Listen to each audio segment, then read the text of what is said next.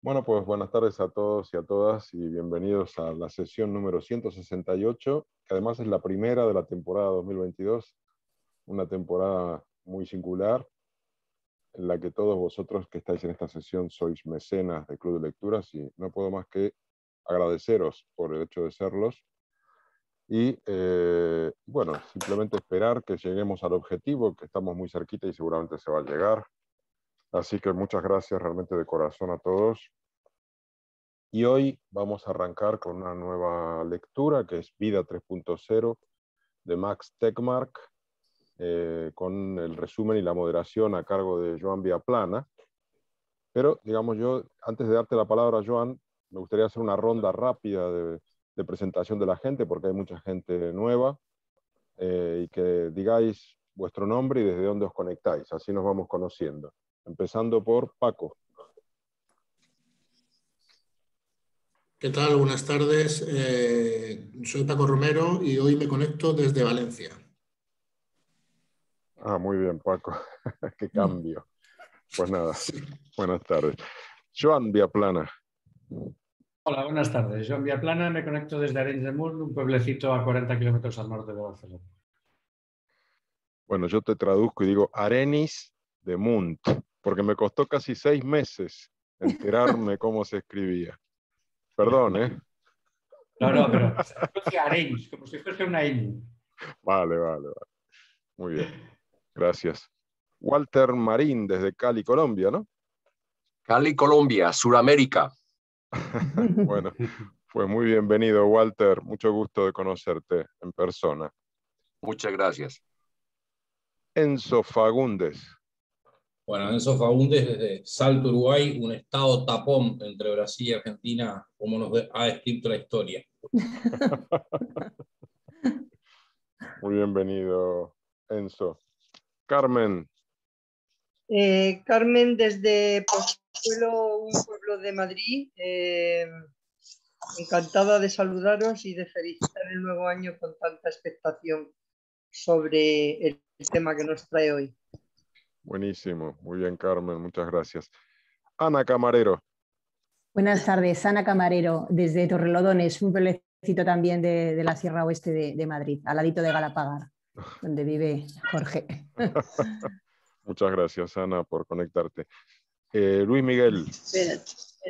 Hola, buenas tardes a todos y buenos días a, los que estéis en el otro lado del Atlántico. Bueno, yo soy de un pueblo de Zaragoza, pero me conecto desde Mallorca, que es donde vivo. Muy bien, muchas gracias. Julio Belinchón. Hola, eh, soy eh, de un pozuelo, del mismo pueblo que Carmen, cerquita de Madrid. Muchas gracias, Julio. Ana Pérez, ¿qué tal? Bien, soy Ana y me conecto desde Barcelona. Bueno, hoy estoy en Cubellas, que es un pueblecito cerca de Vilanova, Barcelona, San Pera de Rivas, que es donde suele estar Magda. ¿eh? Encantada de estar con vosotros hoy. Eh, muchas gracias por conectarte, un gusto. Blanca Estela. Qué gusto saludarlos y verlos. Nuevo año con lecturas y buenos libros. Desde Guatemala, aquí son las 12 del mediodía. Fantástico. Pues gusto de verte, Blanca. Jesús Alberto. Hola, Jorge. Hola a todos y a todos. Eh, encantado de estar conectado para la sesión de hoy desde la Ciudad de México. Fantástico, Jesús Alberto. Eva Vargas.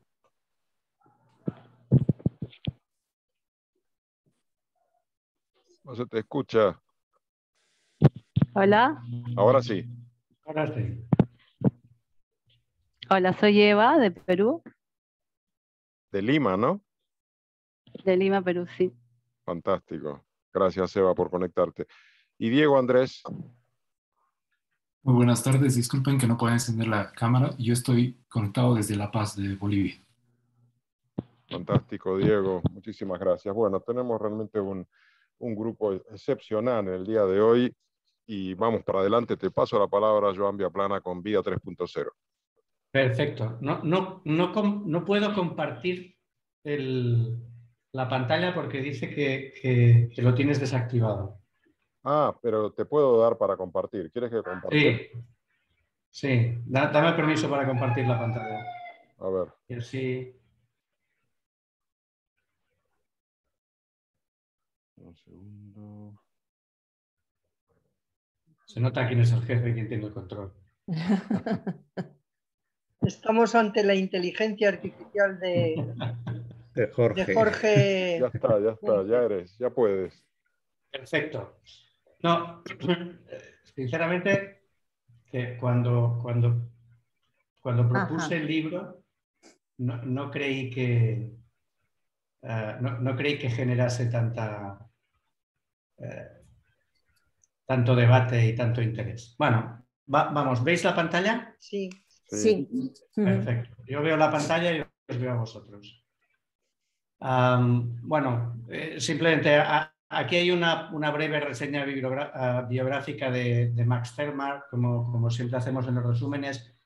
Aquí simplemente, bueno, es, es sueco, ha dado, ha dado muchas vueltas, lo- lo- los suecos suelen, suelen hacer eso, y al final desde, 2000, desde 2004 está en el, en el MIT. Eh, y, simplemente deciros que la foto está escogida eh, con, un cierto cariño, porque si os fijáis en la, en la frase, dice que no es el universo el que da sentido a los seres que tienen conciencia, sino son los seres que tienen conciencia los que dan sentido al universo. Y él empieza el libro, luego lo veremos, diciendo que, que el universo antes no tenía ningún sentido y empieza a cobrar sentido desde el momento en que, en que no lo dice, pero los humanos tenemos conciencia y nos interesamos por él. Lo digo porque en un libro que, que habla básicamente de, tecnología y de, y de que la tecnología acabe, acabe pasándonos por encima, esa, esa visión de, de que lo que le da sentido al universo es nuestra conciencia, yo, yo creo que ayuda a enmarcar al, al personaje, ¿no? que no es, yo creo que lo decía Jorge en uno de sus comentarios, no, no es tan simplemente tequi como, como, podría, como podría parecer. Es un gran comunicador, aparecen docenas de documentales científicos, lo podéis encontrar en charlas TED, en, en- mil, en mil sitios. Tiene 70 y- más de 71 millones de seguidores en Twitter, alegría, eh, ¿de acuerdo? Por tanto, es, es alguien, es alguien con, una cierta, eh, con un cierto impacto. Al principio del, de- del resumen he, puesto simplemente dos líneas por cada uno de los capítulos, ¿vale? Un poco para, para- para que veamos dónde, está, dónde estamos. Hoy veremos estos tres capítulos. Eh, uy, veo que empezamos con el cero. Mal, bueno, ya lo cambié. El prólogo, que es una historia, y luego los tres primeros capítulos, que básicamente los tres primeros capítulos lo que son es Max nos centra de qué, qué está hablando, ¿vale? Luego lo veremos, y discute la inteligencia artificial tal como es hoy. Y plantea si esa inteligencia artificial puede ir a más. Y en esos tres primeros capítulos, que son los que veremos hoy, nos quedamos ahí, ¿vale? Discutimos lo que, lo que hay hoy y si ese, ah, ah, eso que es lo que hay hoy puede ir hacia, hacia adelante. Ah, ah, es, es interesante porque empieza con un, con un, con un storyteller, ¿vale? con, un- con una historia. Él, él es, un, es un storyteller de primera magnitud. Eh, y dice, si creéis que una inteligencia artificial sobrehumana puede llegar a inventarse a este, en este siglo, leeros la historia. Si no, no os la leáis.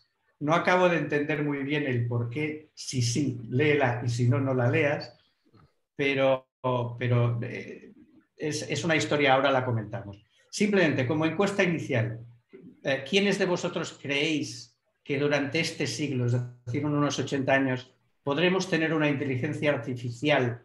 Otra cosa es si es deseable, si es. Pero ¿creéis que una inteligencia artificial más allá de la humana puede desarrollarse? Yo, voto que sí. Eh, yo me gustaría antes, Joan, que nos dijeras qué es para ti la inteligencia artificial. ¿La has interiorizado? Am, de- de mo- lo- luego la definimos. Es que luego- yo no te puedo decir si, si pienso que va a venir, si no sé qué es lo que va a venir, si se va a desarrollar. Es una muy buena respuesta, Carmen. Eh, eh, para eso es para lo que veremos los siguientes capítulos. Eh, en principio, así en abstracto, para mí sí. lo, que, lo que dice la historia, la historia es una historia muy simple de un, equipo de, dedicado a la I D que, se dedica a la I de inteligencia artificial, pero una inteligencia artificial especial, cuyo objetivo es, de momento, inicialmente, solo programar inteligencias artificiales. A, esa, a esa inteligencia artificial la llaman Prometeo y su objetivo es programar sistemas de inteligencia artificial. ¿Por qué? Porque lo que buscan es la famosa singularidad que también veremos después, con, el, con, el, objetivo de generar un proceso de mejora, ¿vale? cada vez esa inteligencia artificial va programando mejor otras inteligencias artificiales, ¿vale? Y por tanto, lo que se supone es que ah, ese proceso de cada vez una mejor inteligencia artificial programando una inteligencia artificial será mejor, mejor, mejor, lo cual lleva a una explosión de inteligencia. Y se supone, ese equipo supone, de momento es una historia, ese equipo supone que con esa inteligencia, a Prometeo, que es el sistema de inteligencia artificial, aprenderá el resto de habilidades que necesita. ¿vale? Una vez ya sea inteligencia, inteligente, aprenderá a hacer cualquier cosa. Y lo que hace ese equipo para que esa inteligencia artificial ah, no se desmande es aislarla del mundo, la isla de Internet. Ah, le da muchos datos para que pueda aprender. Eh, fijaros que hay ciertas palabras que las he puesto en negrita porque son son los conceptos que luego irán apareciendo en el libro. Ah, una vez Prometeo ah, ha conseguido esa explosión de inteligencia y es capaz, es más inteligente que los humanos y es capaz de aprender cualquier habilidad, ah, lo ponen a ganar dinero. ¿Y por qué lo ponen a ganar dinero? Pues para financiar eh, toda esa investigación. ¿vale? Gana dinero con, una tontería en Google, eh, bueno, eh, preguntas, respuestas, etcétera. Al final creen que pueden hacer un siguiente paso para que gane mucho más dinero y ponen a esa inteligencia a crear eh, contenido digital. películas, otro contenido, crean un canal. Para ello, Prometeo no solo tiene que ser inteligente, sino que tiene que comprender a los humanos porque tiene que comprender qué película o qué contenido les puede interesar a los humanos. ¿vale? Por tanto, fijémonos, ¿eh? está aislado, pero aprende, necesita conocer a los humanos eh, y con, esa, con ese canal siguen ganando dinero. Para no generar sospechas, lo que hacen es eh, que Prometeo empiece a generar campañas de desinformación. ¿De acuerdo? Por tanto, ponen en marcha además infraestructura de computación propia, con una tecnología que obviamente inmediatamente es superior a la, a la, existente porque la está desarrollando una inteligencia por encima de la que está desarrollando las otras tecnologías. Eh, y al final los, los eh, integrantes de, de, esa, de, ese grupo de trabajo lo que hacen es crean un, una red de empresas para que esos avances científicos que Prometeo va generando puedan llegar al mercado. ¿De acuerdo? Y por tanto la sociedad pueda beneficiarse de todos esos avances científicos. Van ganando dinero, van mejorando, entre comillas, la sociedad con esos avances científicos y con ese dinero que hacen utilizan para, para contratar personal, para proyectos comunitarios, hacen donaciones a los políticos que refuerzan esos proyectos, por tanto, utilizan todo ese dinero para implementar mejoras sociales, la gente empieza a estar muy agradecido al equipo Omega y a Prometeo. ¿Y cuál es el siguiente objetivo? El siguiente objetivo es dominar el mundo. Lo están haciendo también y están mejorando tanto la sociedad que quieren dominar el mundo. Para ello utilizan el canal de noticias, manipulan. E, es, es interesante ver cómo Max Tegmark nunca utiliza la palabra manipular, siempre utiliza persuadir, pero manipulan a la sociedad Fijaros que la máxima que utilizan es la verdad, nada más que la verdad, pero quizá no toda la verdad, eso también se lo digo yo a mis hijos, eh, y empiezan a persuadir. Eliminan conflictos, reducen las amenazas globales, eh, cambian la, eh, educación, extendiendo los avances, creando al mismo tiempo esas estrategias de persuasión, vuelve a llamarlas, y al final, mediante esa persuasión, debilitan las estructuras de poder político, económico y religioso, y con la red de empresas eliminan la competencia de la élite empresarial y por tanto se hacen con el poder político y el poder económico. Los ciudadanos están contentos porque su calidad de vida ha mejorado, aunque para ello Omega, frase importante, redistribuía tan solo una módica parte de sus beneficios. Max Tegmark no nos, no nos ah, aclara en qué utilizaban la parte de los beneficios que no era módica.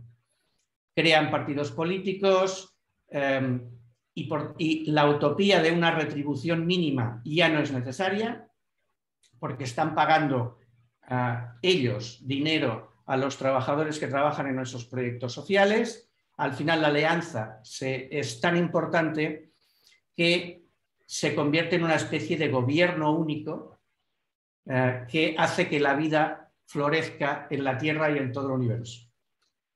E, es simplemente uno de los futuros posibles, uno de los escenarios. Max aquí no se moja y lo deja aquí. Y aquí os haría la primera pregunta. En realidad, esta historia difiere del resto del libro, lo dice él, ah, ah, porque en esta historia la inteligencia artificial es solo una herramienta, ¿vale? no, toma conciencia de sí misma. Y de hecho no controla nada por sí misma, sino que es un facilitador de, nuevo, de un nuevo orden mundial. Pero aunque ese orden mundial aquí se está diciendo que la gente está contenta, que ha mejorado la calidad de vida, etcétera, etcétera, etcétera, Ah, ¿Creéis que este es un escenario deseable? Es decir, ah, aunque la inteligencia artificial nos sirva para mejorar la vida de, todos nosotros en un escenario como este estilo, eh, ¿lo, veis deseable? Obvio la calificación de bueno o malo. ¿eh? Joan, si quieres te ayudo para dar las palabras porque hay dos palabras pedidas. Creo que primero la pidió, bueno, por orden, según veo, Jesús Alberto y luego Blanca Estela. Las veo, las veo. Y luego Benzo. Gracias, Jorge. Eh, eh, bueno, yo, yo quería por principio, eh, Joan, responder a tu primera pregunta, la de la encuesta, ¿no? A, mí, en lo personal, me parece que la inteligencia artificial ya existe. Obviamente, como lo dice muy bien Carmen, todo depende de qué entendemos por inteligencia artificial.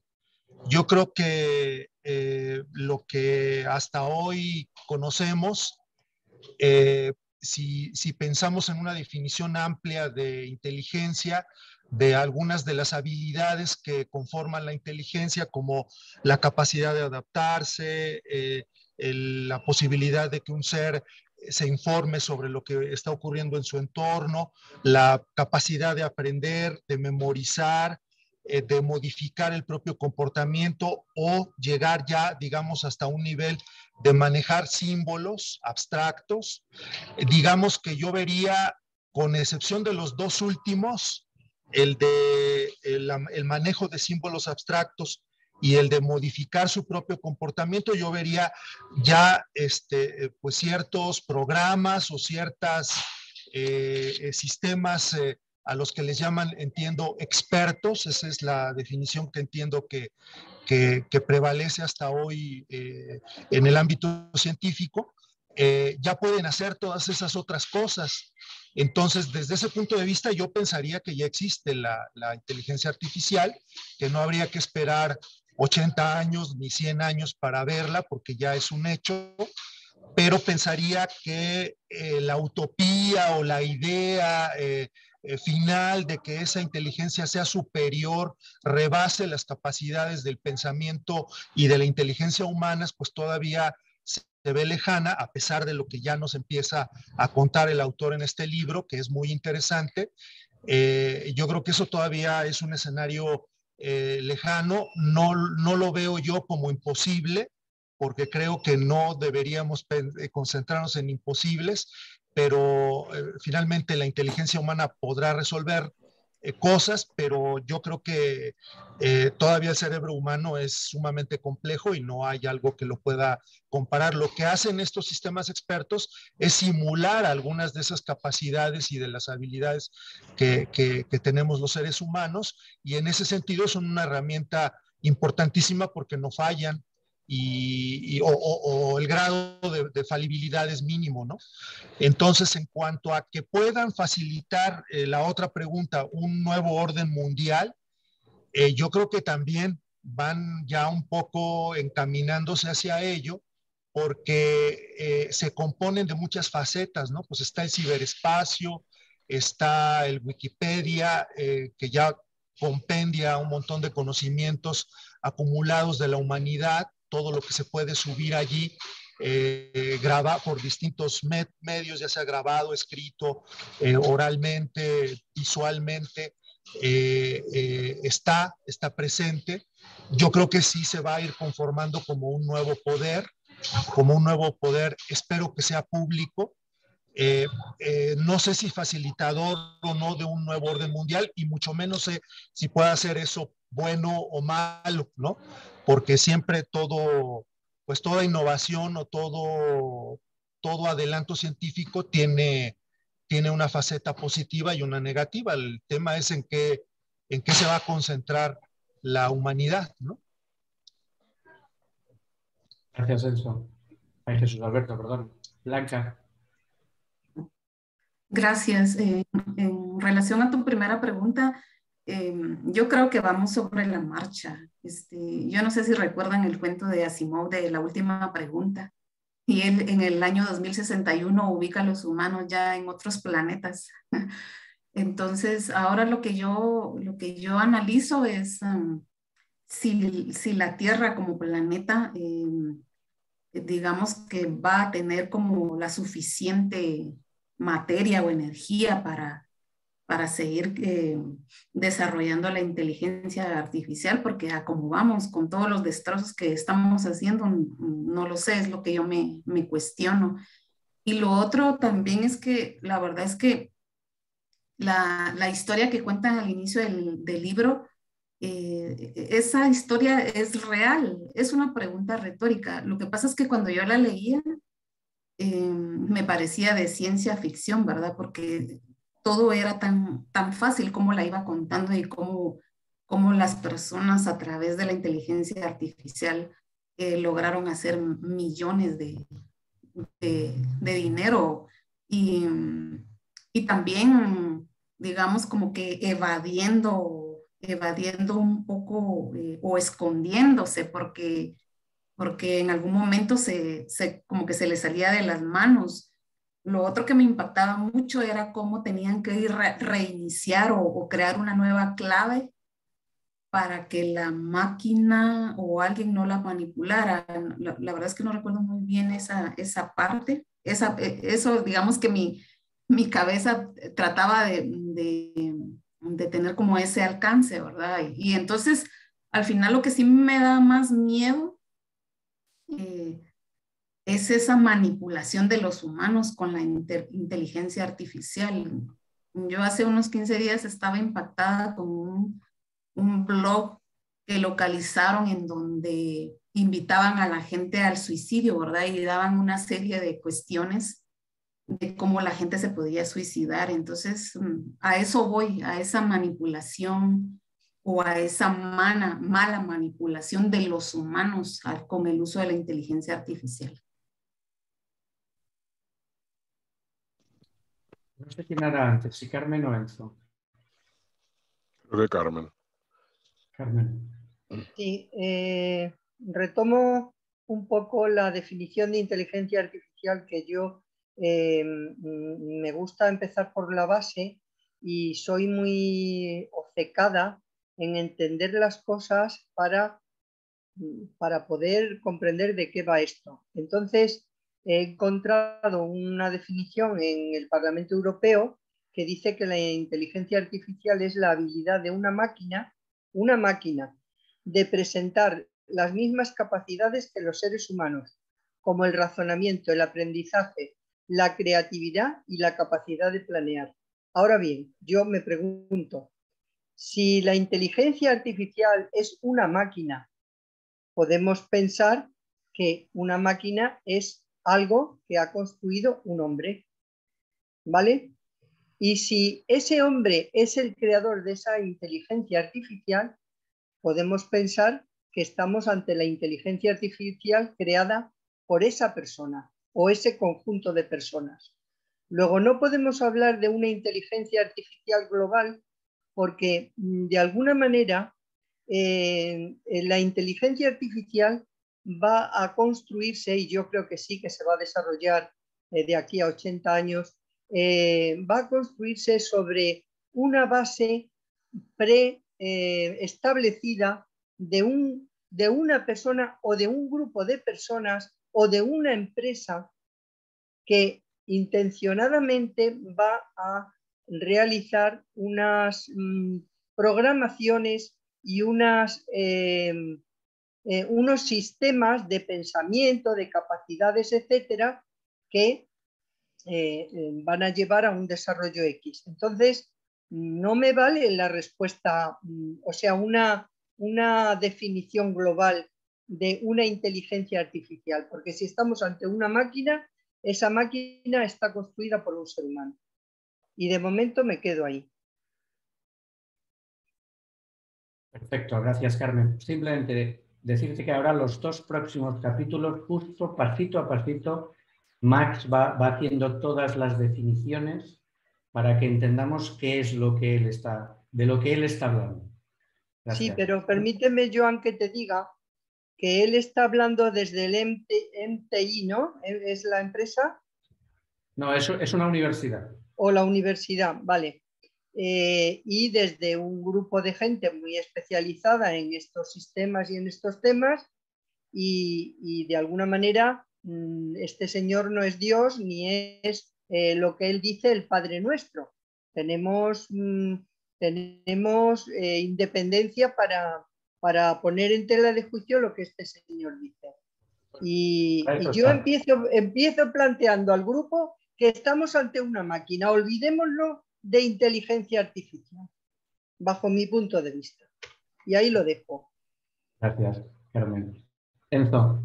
Bueno, eh, leyendo la historia de Omega y, lo que funcionó en torno a Prometeo, yo creo que ahí lo que se presenta es una especie de aspiraciones idealistas dentro de lo que puede terminar de conducirse en los proyectos estos de inteligencia y desarrollo, este, que se le agregó el concepto de innovación en el tiempo en las nuevas políticas económicas. Y en ese idealismo, eh, las fases de cómo se constituye una transformación que hoy está en llamarse la, cual, la cuarta revolución este, tecnológica, ¿no? o sea, la cuarta revolución desde el punto de vista de la técnica.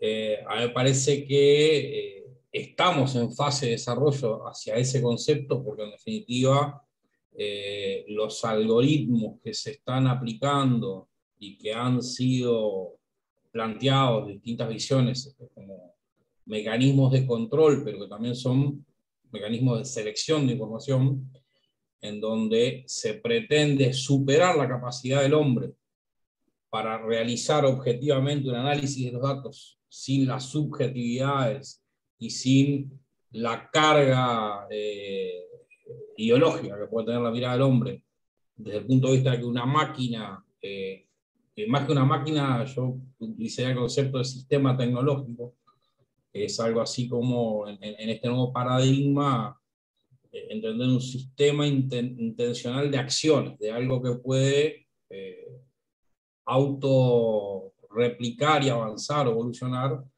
casi como lo hizo la evolución de la, propia especie. ¿no? Creo que está, en juego eso. Esto uno ve en el libro, en realidad, parte como eh, el autor va fusionando conceptos de ciencias este, eh, muy profundos en, el desarrollo epistemológico de la humanidad.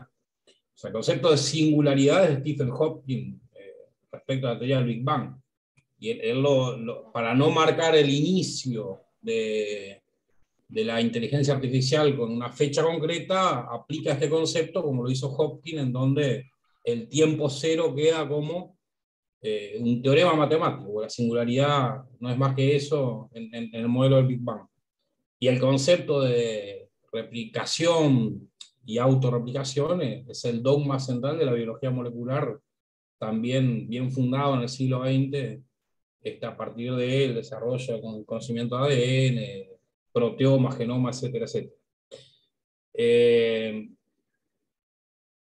creo que estamos en proceso de, del desarrollo de la inteligencia artificial en una etapa, digamos, en donde todavía sigue la integración de ese artefacto externo que se podría integrar hacia eh, eh, lo biológico y que podrán haber eh, meramente ensayos. Entonces, este, tampoco dudaría en que en pocas décadas ya estemos en condiciones de que la aceleración de esta cuarta revolución llegue a una integración de la, la intervención de la inteligencia artificial en, en, torno a nuestra especie.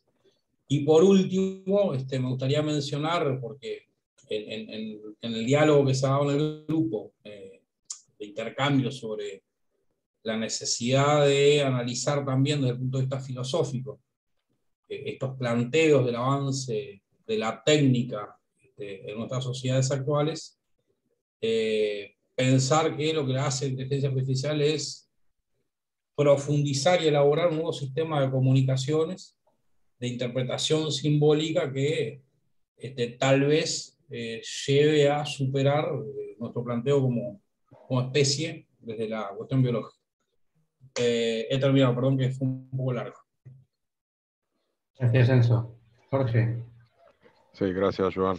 Yo estoy de acuerdo con Tecmar, me parece que mm, esto es un, no sé si es un facilitador la palabra, pero que está generando y va a generar un nuevo orden mundial, no tengo ninguna duda. Es una revolución absoluta en todos los órdenes. Y, yo, en respuesta a lo que decías, Carmen, eh, creo que el tema, tú dices, es una máquina, por tanto, olvídense, está diseñada por un ser humano, pues justamente lo que se está diseñando ahora son máquinas que eh, los que la crearon no saben cómo, cómo funcionan, porque eh, ponen en, despliegan un mecanismo de funcionamiento en el cual ya pierdes el control de cuál es el proceso de razonamiento, entre comillas, que siguen, y, son las redes neuronales. Es decir, eh, eh, yo no soy un experto para nada, no sé nada de esto, pero tengo un sobrino al que admiro muchísimo, que es el hijo de mi hermana, a la que conocéis, que ha participado alguna vez aquí en las sesiones, eh, que también él es doctor en física y que se ha dedicado a inteligencia artificial, es un chico joven. Ahora tienen una empresa que ha constituido con otros cerebritos repartidos por el mundo y ofrecen un servicio de, predicción estadístico basado en unos sistemas bayesianos. Yo no entiendo nada cómo funciona, que se basan en, el uso de inteligencia artificial y redes neuronales para tomar decisiones en, situaciones de gran incertidumbre, sobre todo en análisis de mucho Big Data. Eh, yo lo único que puedo decir es que ellos empezaron trabajando, el primer trabajo lo cobraron 5.000 euros, esto, esto me lo contó ahora porque estuvo con nosotros en, en las Navidades, eh, y en, en, menos de seis meses el, están cobrando por ese mismo trabajo 150.000 euros trabajos que se hacen en un mes. ¿Qué es, ¿Qué es esto que está pasando? Claro, pues yo digo, ¿y yo qué hago? Yo quiero abandonar la arquitectura. Es que esto es una revolución, es otro mundo, es algo que supera nuestra capacidad de entenderlo y por tanto estoy de acuerdo con Tecmar y con esta idea de que esto es un proceso de cambio del orden mundial total. Gracias, Jorge. Luis. Sí, a ver, bueno, yo seré breve. En primer lugar, bueno, reconozco que no he podido leer el, el libro, eh, entonces un poco en base a, al resumen de Joan y los comentarios, pues bueno, un poco la, mi idea. Pues, en primer lugar, eh, respecto a lo que tú comentas o preguntas sobre si en 80 años la inteligencia artificial, cómo la vemos, o sea, yo creo que la respuesta ahora mí es que sí, eh, entendiendo, o yo entiendo inteligencia artificial como esa capacidad de eh, de crear procesos, automatizar procesos, adaptarse, incluso como ahora está comentando eh, Jorge, con sistemas que realmente los propios creadores no saben hacia dónde van a evolucionar. Entonces, en ese caso, pues bueno, mi respuesta es que sí, ¿no? Respecto al nuevo, al nuevo orden, mm, por supuesto, por supuesto que, va a haber un nuevo, una nueva sociedad, un nuevo orden que estará basado en, en inteligencia artificial. Lo que pasa es que no va a ser mundial. Eh, yo creo que no existe, nunca ha existido a lo largo de la historia un único eh, orden mundial, ¿no? Y con, la inteligencia artificial yo creo que va, a pasar exactamente eh, lo mismo, ¿no? Va a haber unas diferencias de sociedades entre los distintos sitios del mundo, ¿no? Con lo cual no vamos a poder hablar de un único orden mundial basado en una única, un único modelo de inteligencia artificial. Gracias, Luis. Ah, Paco. Sí, brevemente, con respecto a, la primera pregunta, eh, bueno, por un lado, parece, bueno, eh, eh, esa, pregunta o similar la, hizo el autor a varios expertos y, no supieron establecer un horizonte temporal para esa evolución. Eh, parece claro que lo que sí que es, comúnmente aceptado es que la convergencia de, diferentes, de diferentes eh, tecnologías, ¿no? pues quiero decir, la, computación, la, neurotecnología, eh, puede acelerar muchos procesos, con lo cual podríamos eh, encontrarnos con que el proceso se acelerara mucho. Lo que no está tan claro es que ese proceso vaya a ser em, continuo. Y, mm, sería lógico pensar que en, 80 años lo podríamos tener aquí si no fuera porque en ese tiempo puede haber grandes parones, puede haber eh, eh, algún tipo de, disrupción que bloqueara o paralizara ese proceso, ¿no? incluso que, pudiera dar marcha atrás, ¿eh? con lo cual pues, pues no estoy tan seguro de que pudiéramos verlo en, bueno, que se pueda ver en este siglo. ¿no? Y con respecto a, lo segundo, yo me, muestro total, total y rotundamente, eh, me parece totalmente inconveniente. Que tú decías que si era deseable, pues no. No creo que sea deseable, me parece tremendo, eh, básicamente porque eh, el, fin no puede justificar los medios. Y, estos señores, en esta fábula moral que nos plantea, que, bueno, no sé si es ingenua o, simplemente bien intencionada, pero, eh, para conseguir ese fin de ese universo en armonía, utiliza unas técnicas que me parecen tremendamente perniciosas y que van contra la dignidad humana, por lo cual, pues no me parece deseable. Perfecto, gracias Paco. Seguimos. Ah, ya en el primer capítulo empieza, Max Termack empieza a definirnos eh, básicamente de qué está hablando, ¿vale? Para que cuando él va contándonos cosas podamos entender qué es lo que nos está diciendo, qué es lo que no nos está diciendo. Al principio del capítulo comentado eh, que, aparecía en la foto inicial, eh, le dedica un espacio a la evolución del universo eh, la vida que es el resultado de un proceso de progresiva complejidad, etcétera, etcétera. Yo creo que aquí lo importante es que él nos transmite la idea de que el universo es un, un montón de partículas elementales que se van organizando y que al final ¿vale? hay un grupo de, de átomos que se organizó siguiendo un patrón complejo, con capacidad de autorreplicarse y perdurar, y a partir de ese punto es cuando empieza la vida. ¿vale?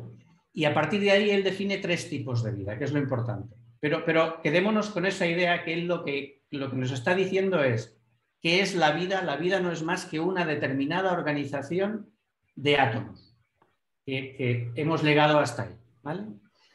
Él dice, ¿qué es vida para mí? Es decir, cuando, cuando yo hablo de vida 1.0, 2.0, 3.0, dice, Vida es un proceso capaz de preservar la complejidad y de replicarse. ¿Vale? Por tanto, es E- Es una definición muy simple, él, dedica varias páginas a, a- a decir por qué toma esa definición tan simple para que sea genérica y quepan muchas, muchas cosas en ella. Pero lo que es importante, lo que se replica no es la materia, ¿vale? De, de la que está formado el ser vivo, sino que lo que se replica es la información que especifica ese patrón de organización de los átomos que hemos visto antes. Es lo mismo que ocurre con los humanos. Nosotros cuando nos reproducimos, ¿de acuerdo? Lo que replicamos es nuestra información genética que pasa a nuestros descendientes, no la materia, ¿vale? Por tanto, eh, él va introduciendo ese concepto de que la replicación, el, el tener descendientes, eh, es un proceso que lo que se replica es información. En nuestro caso, y en el caso de, la vida biológica, ADN, ARN lo que queráis, ¿vale? Por tanto, él dice, cuidado, yo, el ser vivo tiene dos componentes. El hardware, que equivale a ese continente físico, al cuerpo, que es el que no se replica, ¿vale? Y el software, que es eh, los procesos de tratamiento de la información que permiten al ser vivo interaccionar con su entorno y decidir qué hacer, que eso sí es lo que se replica, es lo que pasamos a las siguientes generaciones. Y con, esa división de lo ser vivo en hardware y software, le podía haber puesto otro nombre para no parecer muy techy, ah, de- define tres, tres estadios de evolución de la vida. ¿vale? La primera, que es la vida 1.0, que surge hace más de 4.000 millones de años. Yo creo que el, último, que, que no está en la tabla, que está en el texto, pero no en la tabla que lo utilicé en el libro, es importante también que lo, que lo entendamos, de los casi 14.000 millones de años que tiene el universo, hace 4.000 millones de años surge la vida y esa vida es una vida en la que no puede, esa vida no puede cambiar ni su software ni su hardware. Quiere decir que eh, los procesos que tiene codificados en el ADN o en lo que sea que se transmita de, una generación a otra, eh, ahí está toda la información y ese ser no puede cambiar esa información. Y tampoco puede cambiar el, sustrato físico, ¿de acuerdo?, que, que- que lo soporta. ¿Qué capacidad de interacción tiene con el entorno? Pues acción-reacción. Y como mucho, un cierto aprendizaje individual durante la vida del ser, pero que cuando se muere el ser, ese aprendizaje no se puede transmitir. Hace solo 100.000 años, ¿no? fijaros la escala temporal, 14.000 millones, 4.000 millones, hace 100.000 años surge la vida 2.0. 2.0.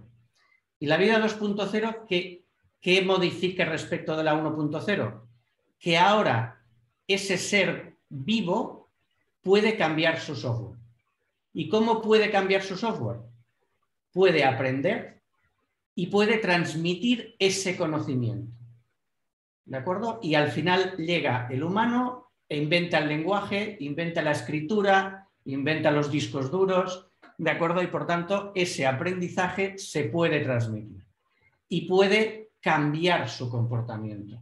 Eso además va ligado a que parte del hardware de esos seres que son más complejos se va añadiendo a, a- lo largo de la vida. Los, los humanos nacemos muy pequeñitos y vamos creciendo y vamos teniendo cada vez más hardware y por tanto podemos aprender y podemos cambiar nuestro comportamiento y transmitir nuestros conocimientos. Y durante el siglo XXI, si, hemos, si somos de los que creemos que durante el próximo siglo habrá una inteligencia, esa singularidad, él dice, habrá una vida 3.0, que cuál es el cambio? Que además del software va a poder cambiar el hardware. Es decir, no solo va a poder aprender y cambiar su comportamiento, sino que va a poder cambiar su sustrato físico, va a poder cambiar en qué mundo o en qué, eh, sus- eso, en qué sustrato físico, en qué cuerpo vive. ¿Vale?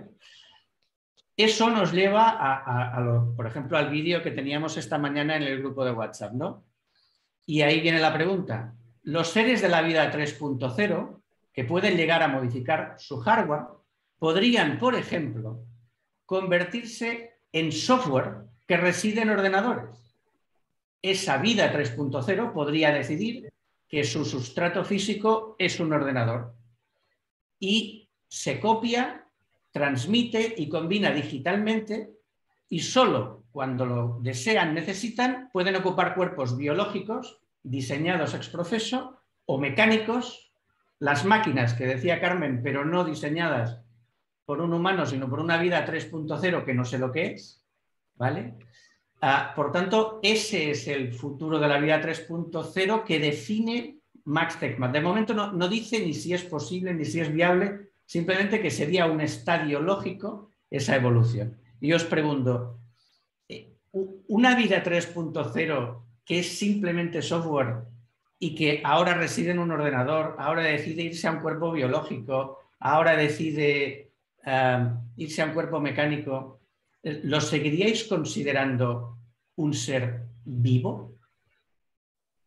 yo creo que ese es, uno de los pilares del libro y de, muchas de las cosas que hemos estado viendo en el, en el grupo de WhatsApp. La vida, ¿cómo definimos la vida?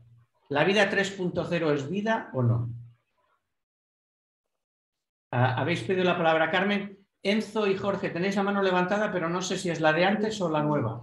Yo la acabo de levantar. Nueva. Vale, pues. La Es la mano 3.0. Vale, pues Jorge, Jorge, Enzo y Carmen. Y luego eh, Jesús Alberto y Luis Miguel. Creo que estaba primero Enzo. Venga, Enzo. Sí, pues Enzo. Eh, bueno, eh, Richard Feynman, una de las mayores cabezas del siglo XX, decía que no sabía definir la vida, pero que sí sabía cuando su perro estaba muerto. Este, es, bravo entrar en esa, en esa definición de vida, pero en el concepto este de organización y, transcripción de la información, eh, no entiendo por qué se podría dejar afuera eh, el concepto de híbrido que se avecina entre inteligencia artificial y la cuestión biológica. Este, yo creo que hay que pensarla ya en, lo biosocial, en lo social entra la interacción de la tecnología con, con la especie, en donde no es más que seguir buscando mejoras para potenciar el desarrollo este, bio psicofísico eh, en un mundo en donde la, la, información se procesa en cantidades y calidades este, mucho mayor. Con esto no estoy planteando utópicamente que esto esté avisorándose en este siglo XXI como algo que, esté pensado como para el bienestar de la humanidad, porque creo que es totalmente contradictorio con lo que acontece en estos momentos respecto a concentración de la riqueza, que solo un 2% está vacunado en África, etcétera, etcétera. Pero este, me gustaría así plantear eh, no un negacionismo a esto que más allá de que no nos pueda gustar, este, se viene. Y por último, cortito, no quiero ser largo, eh, la nanotecnología está dando pasos gigantescos. Esto se hablaba de la cuestión energética, bueno, ya el desarrollo respecto a hidrógeno, que podría sustituir ampliamente las fuentes derivadas del petróleo, o la integración de nanopartículas en nuestras membranas, en nuestros componentes celulares, está siendo un hecho. Entonces, no, no dudo que estemos yendo hacia ahí. Gracias, Sergio. Jorge. Bueno, yo voy a, decir que, sí, que yo considero vivos a estos seres, eh, si son capaces de ser autónomos, y me tomo la definición de Tecmar, es decir, que son capaces de reproducirse y de perdurar, eh, pues entonces eh, sí. Entonces son seres que tienen vida propia, más allá de cómo se han creado. Eh, yo quisiera decir que a mí lo que me sorprende de este libro y lo que me, tortura mentalmente a medida que lo voy leyendo es que lo estamos, nosotros somos como observadores, ¿no? Nos están contando una cosa que está pasando y la vemos como como inevitable. El propio Tecmar lo plantea así. Es como la inevitabilidad del desarrollo. Y, lo único que podemos hacer es intentar, no sé, como levantar la mano y decir, oye, esperen, vamos a pensar un poco, pero esto va avanzando de manera inevitable. Eso es lo que me sorprende. creo que nadie está en control de esto, nadie, porque lo estamos haciendo de manera fragmentaria, como si fuésemos un colectivo de mucha gente trabajando, y el resultado final es la composición de las pequeñas acciones de todos, por tanto nadie tiene el control, y lo único que podemos hacer es observarlo y, no sé si decir rezar, porque ya queda desfasado, ¿no? Eso es de la 1.0, de la 0.0. Bueno, entonces es simplemente eso quería decir, nada más. gracias, Jorge. Eh, Max, eh, de hecho, en el libro ah, plantea, y, en una de las preguntas lo plantearemos nosotros, si, si tiene sentido o es razonable o es deseable ah, parar o, hacerlo más despacio. Llegaremos, llegaremos a ello. Carmen. Sí, yo quería seguir con, reflexionando con vosotros. Eh, reconozco que no tengo ni idea de, temas mm, tecnológicos, eh, con lo cual me cuesta mucho el, ponerme a pensar cosas tan raras, ¿no? Eh, pero bueno, puesto que hemos dicho que, se trata de la inteligencia artificial de tener las capacidades humanas, eh, desde luego, bajo ningún concepto son seres vivos, bajo ningún concepto, según, según mi, inteligencia. Eh, ¿Por qué? Porque los seres se crean con una matriz, unos ovarios y un, semen, ¿vale? Entonces, me gustaría que nos explicara Mark o Tecmar eh, quiénes son los, qué es eso, dónde están los ovarios, dónde está la matriz, dónde está el semen de todo este artilugio que él está montando. Que el libro a mí me ha interesado sobre todo el prólogo, que me ha parecido un cuento de ciencia ficción muy bien elaborado, eh, pero mm, creo que él se está eh, posicionando con este libro en un en sentido divulgativo y, probablemente pensando que somos adolescentes los que leemos este libro y que no somos personas ya adultas que hemos vivido, que tenemos unas convicciones y que esto nos viene ya de muy largo, de, muy, eh, de, una, una, ciencia ficción bastante bien elaborada, pero que es muy... Yo creo, por ejemplo, en, los sensores que se ponen en el cerebro para activar ciertas, em, eh, lo ha mandado Paco, que yo ya lo había leído, que ha aparecido en el país, un artilugio que puede ser una cinta, etcétera, etcétera. Em, pero mm, de ahí a pensar que, que, vamos a producir, van a producir, yo no me meto ahí, em, seres vivos que van a ser capaces de tener las capacidades del ser humano, ahí ya mm, digo que no. Y ahora os voy a leer lo que dice Quino. Mis abuelos conocieron la radio y tuvieron nueve hijos. Mis padres la televisión y somos tres hijos.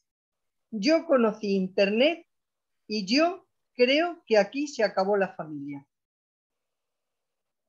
Con eso acabo. Gracias, Carmen. Jesús Alberto. Sí, yo creo como Carmen que, eh, justo iba un poco hacia donde nos lleva Carmen con esta última reflexión que nos hace. Eh, no, no, sé si de pronto esta novedad de la tecnología nos puede eh, poner como hace un poco más de 100 años estaban aquellos que veían por primera vez a una locomotora aproximarse eh, a través de una pantalla, eh, viendo las primeras pruebas de lo que se convirtió en el cinematógrafo.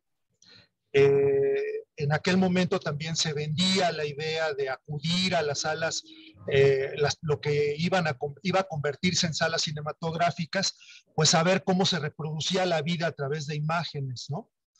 yo, yo sí creo que, que, este planteamiento que nos hace el autor sí raya la ciencia ficción porque me parece que no puede ser lo mismo simular la vida, imitar procesos eh, eh, de movimiento, porque muchas veces pensamos que movimiento es vida, o por lo menos así lo pensaban los antiguos eh, filósofos, pensadores eh, de la antigüedad, eh, no podemos pensar que porque algunas de las, o por lo menos a mí me, pasa esto, ¿no? Me lo digo yo a mí mismo, ¿no? Eh, a, a, mí no, aún no me convence el argumento de que porque eh, podemos a través de sistemas binarios, de razonamientos matemáticos, de silogismos o de operaciones lógicas o de ciertos ya eh, mecanismos que, pueden de alguna manera conservar la memoria, decir que esto ya es vida, ¿no? O sea, estamos hablando de la reproducción de ciertas pautas que el ser humano tiene para poder, eh, que, podemos, podemos decir que son inteligencia, como decía yo en el primer, eh, en mi primer comentario. Pero todavía me hace, me, me, cuesta trabajo pensar que un ente de inteligencia artificial como el Prometeo que nos pone en el prólogo pueda por sí mismo, analizando las imágenes, construir la, la, complejidad que implica reproducir un, un, pro, un, producto cinematográfico con la cantidad de elementos que, que, conlleva ese esfuerzo intelectual y, además artístico, porque ahí involucra, en el caso de la cinematografía, no solamente nuestra mente y una capacidad de planeación y de poder ir decidiendo cómo hacer un argumento, sino además implica también poner nuestras emociones. Y yo creo que eso todavía está lejos de verse en la inteligencia artificial. Eh, eh, una persona cercana a mí tiene en su casa uno de estos aparatos que, que simulan la, la inteligencia, o, o, digamos que es lo, lo, primero que se verá eh, comercialmente eh, hablando de lo que son los, los robots o los asistentes que tendremos en el futuro. Y yo le pregunté, se le pueden hacer preguntas y contesta esta máquina ya eh, con un eh, equipo parlante, ya no es solamente el buscador de Google que nos da una serie de, de opciones a cada una de nuestras preguntas como respuestas, sino que puede además eh, articular ciertas frases. Evidentemente ya están programadas, que ya están programadas, que forman parte de un programa, ¿no? Y yo le pregunté a, este simulador eh, cuáles, eran, cuáles eran sus objetivos o, o, para qué estaba diseñado. Y el simulador me respondió que está diseñado para entretenimiento, para como funciones de entretenimiento y como eh, un facilitador, como un asistente para la búsqueda en el ciberespacio de información, ¿no? Eh, le pregunté si tenía, si, él se, si se considera vivo o no, y, me contestó que no tiene vida, así fueron su, esta fue la frase que, que articuló, no tengo vida, pero estoy lleno de energía. Entonces a mí me parece que pues, pues eh, eh, lo que el libro trata de presentarnos eh, mueve pues a mitos ancestrales, como me viene a la mente el de Festo, ¿no? Este dios que eh, poseía la capacidad del fuego, de poderlo, de poder hacer máquinas, poder construir cosas, y a, al que se le atribuye el haber podido también hacer los, lo que podrían ser los primeros robots o los antecedentes de lo que, se, de lo que hoy es la, la, la inteligencia artificial. Esta idea yo creo que nos ha acompañado históricamente a través de la historia del hombre, ¿no? Entonces, eh, creo que lo que hace el autor es jugar mucho con esos elementos, pero no veo yo el fundamento científico, porque creo que emular la vida no puede ser este, la vida, aunque se pueda eh, modificar el hardware, eh, el software no quiere decir que esté vivo, ¿no? el, que pueda re realizar eh, ciertos procesos de pensamiento no, no quiere decir que esté vivo. Pasar información tampoco lo es, como lo hace el cinematógrafo, eh, información visual, o como lo hace la computadora ya con una serie de recursos eh, eh, que están conectados entre sí.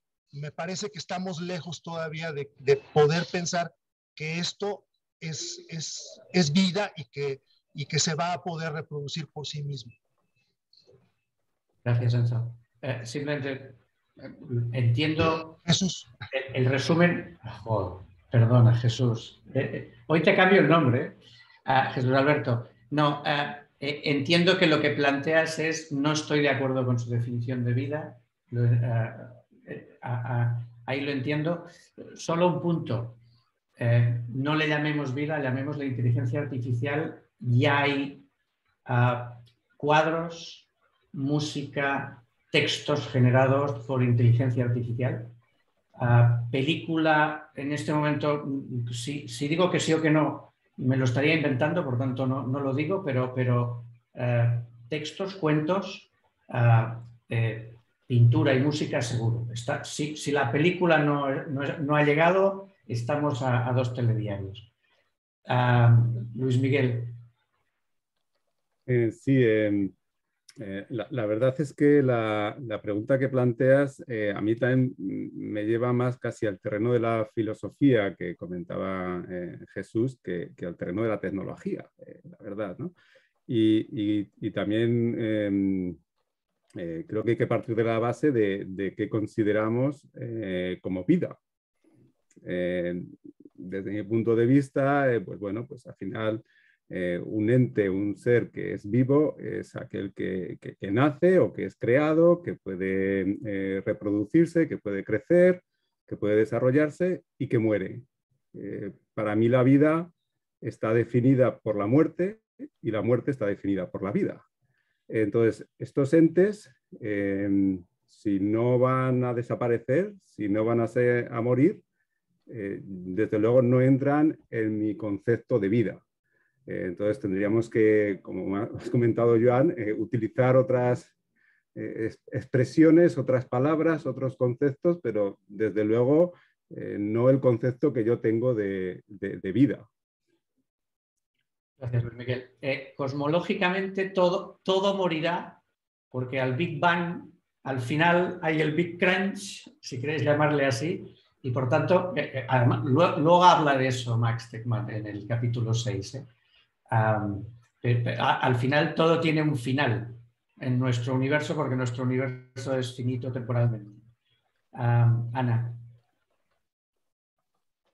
Eh, yo, yo estoy un poco con Jorge, ¿no? Cuando propusiste ese libro me encantó, dije, ostras, qué tema más chulo. Yo no entiendo demasiado el tema, pero conforme vas mirando, empiezas a ver más cosas y más cosas y más cosas y digo, "Ma- madre de Dios, ¿no? Entonces, eh, al final ya parece que estamos bajo los efectos de una droga psicodélica pensando ahí en los futuros alternativos, ¿no? Y, qué posibilidades hay. Eh, otra cosa que me tranquilizó, eh, hablando, decías, Jorge, ostras, que parece que somos espectadores, que ya hay gente puesta en ello, ¿no? Y hay muchas fundaciones, muchas universidades, muchas entidades que están viendo de qué manera vamos a controlar esto, porque es que o marcas pautas o las marca vete a saber quién, porque es verdad y, hay muchísimos desarrollos. O sea, eh, es que tenemos ya un hombre Cirbor, que además nació en Cataluña, Joan, es catalán que se ha implantado un- cosas en el cerebro, cosa que es ilegal, porque no te puedes poner implantes, pero este señor lo ha conseguido y este señor ve luces infrarrojas, ve luce- ve, mm, puede recibir llamadas en su cerebro, es decir, que es que ya está. Y esto es una persona viva, ser humano, con un dispositivo y con una información que le entra, ¿no? Y ahí estoy con Carmen, ¿no? Y con, y, y con, y con Luis, ¿no? Al final hay que meter aquí filosofía, hay que meter cabeza, eh, porque al final si esta inteligencia igual acaba aprendiendo, ¿de qué va a aprender? De- aprende de lo que digamos nosotros, ¿no? Y de a lo mejor de lo que es como un niño, ¿no? Al final es un niño, ¿no? Que va creciendo, le vas enseñando, eso necesita un tiempo de aprendizaje. Lo que hay ahora, eh, lo que dicen es que el problema que, con lo que hay ahora es que tiene sesgos. Es decir, en- yo estoy en el mundo de recursos humanos, hay procesos de selección automáticos que van con sesgos, porque el que ha hecho eso es un ser humano con unos prejuicios, ¿no? Y como esto pasa con todo, entonces aquí hay que entrar, porque en lo que hablábamos de emociones que decías Jesús, hay un libro que se llama Almendra, que es de un japonés, que habla de un chico que no, no, no tiene sentimientos, no, no tiene el mismo sentimientos y lo que desarrolla es la habilidad de identificar los sentimientos a partir de las expresiones que ve las caras a partir de inputs externos. Y yo creo que un poco en el mundo de la inteligencia artificial y el aprendizaje, bueno, el aprendizaje, los algoritmos y lo que aprenden, ¿os pensáis que todos estos aplicativos que se usan de, mira, me pongo orejitas de conejito, me pongo gafitas de no sé qué, no es gratuito? Nada de lo que hacemos con estas aplicaciones gratis, incluso WhatsApp, eh, mm, es a cambio de nada. Se quedan con nuestras caras, se quedan con nuestras expresiones y ahí tenemos al señor Google o al que sea trabajando para desarrollar software, ¿no? Entonces yo decía, ostras, esto es que esto no puede ser, pero claro, yo ahora individualizo, ¿no? Y lanzo una pregunta. Ya no es para incluso para nosotros. Si tú tienes un hijo que tiene algún tipo de de problema físico y tú sabes que utilizando la tecnología le puedes ayudar, ¿lo, harías? ¿Tú pondrías algún, algo que le ayudara? Y ahí me entra a lo mejor el egoísmo, no sé, pero yo pensaba, ostras, si yo tengo un problema que me impide andar y me dicen que me pueden poner algo, máquina controlada, que me va a ayudar, ¿lo usaría? O diría, no, no, es que ¿dónde vamos ya con la tecnología? ¿no? Y esto, ostras, yo ahí voy con, Luis, ¿no? Ahí vamos a empezar un poco a, pensar en filosofía con Carmen, vamos a, pensar cómo podemos enfocar esto, ¿no? Y claramente vamos a un nuevo modelo. No me gusta nada el modelo que plantea el, libro al inicio, donde yo no puedo decidir, yo no puedo, o sea, al final vas, sí, para un bien común, pero ahí me, me han llevado a eso, no lo he decidido yo, ¿no? Pero tiene que ser un modelo muy global, porque mm, si no, yo, no estoy de acuerdo con que tenga que ser por barrios, porque si no, vamos a generar unas desigualdades brutales. O sea, pensad que si tú puedes desarrollar mm, la inteligencia o alguna capacidad porque tienes el, poder, el dinero o, la, tecnología para poderlo hacer frente a otros, estás creando en, en, el mundo que venga una desigualdad, ¿no? También agravar esto, ¿no? Entonces, bueno, aquí lanzo muchas cosas, pero disculpa que me haya enrollado, pero yo un poco he ido cogiendo, yo lo, yo lo veo así, ¿no? Es muy inquietante, muy, mm, también muy interesante, pero ostras, hay que ponerse las pilas ya, porque es que no, no es que vaya a venir, es que está ya, es que está ya. Y, estamos un poco a expensas de esto, ¿no? Gracias, Ana. De, hecho, es, eh, el objetivo del libro es que tengamos esa conversación. Pepa, Hola, hola a todos. Encantada de estar aquí otra vez. Eh, vamos a ver, a la pregunta que nos haces, Joan, mm, mi primer impulso, mm, no podía decirlo porque estaba aquí calladita, ha sido defíneme vida. Cuando has preguntado lo de la vida, primero, defíneme vida, ¿no? Luego ya con las intervenciones de Carmen, de Luis y de Ana, ha surgido un poco mm, la idea que de repente me ha explotado en la cabeza, ¿no? Eh, la vida es algo muy difícil de, mm, eh, de, captar o de aprisionar o de ya no de definir a los contornos y dar un concepto, es imposible. Y como decía Luis, eh, no hay vida sin muerte, está todo, todo interrelacionado. ¿no? Pero también me parece que vida, vida, vida biológica, solo vida biológica y las emociones y los sentimientos que tanto nos condicionan em, para nuestro bienestar, nuestra felicidad y los sufrimientos, todo eso, ¿dónde lo dejamos? ¿En un capacillo aparte ¿no? o, se integra? No lo sé, eso me confunde. Los filósofos, como también nos decía Jesús, Mm, desde hace milenios le han estado dando vueltas al tema, ¿no? Y el dualismo racionalista de Descartes, de por un lado la razón, por otro las emociones, las emociones, ojo, cuidado, ¿no? Eh, Spinoza, el mito de Frankenstein. A mí el mito de Frankenstein me parece que es em, eh, un antecedente muy interesante para tener en cuenta en todo, de todo esto que estamos hablando, ¿no? El riesgo de intentar crear vida fuera de, lo natural, ¿no? Eh, y el libro de Frankenstein, si alguno habéis leído el libro de Mary Shelley, es, es una delicia, ¿no? Es una cosa preciosa. Y luego toda la evolución de la psicología posterior en el siglo XX, ¿qué diría Freud? Si nos oyera, si nos escuchara hablar de lo que estamos hablando ahora, ¿no? ¿Qué diría? Oh, ¿dónde? ¿Dónde vamos? No estoy inconsciente, ¿qué hacemos con eso? ¿no? Entonces, em, a la pregunta de, si la inteligencia 3.0 puede ser vida, pues yo lo primero que digo, mm, por favor, definamos vida o defíneme vida, ¿no? Eh, ahí me quedo. ¿eh? Gracias. Gracias, Pepa. Ah, un poco la idea de la pregunta era justo esta, era contraponer la definición de vida que nos pone Max Tegmark, que es en la que él se basa en todo el libro, con la que podemos tener cada uno de nosotros. Simplemente para saber, cuando, cuando nos dice lo que nos dice, no, nosotros, algunos de nosotros no le llamaremos vida, le llamaremos otra cosa. ¿De acuerdo? Perfecto, gracias. Ana.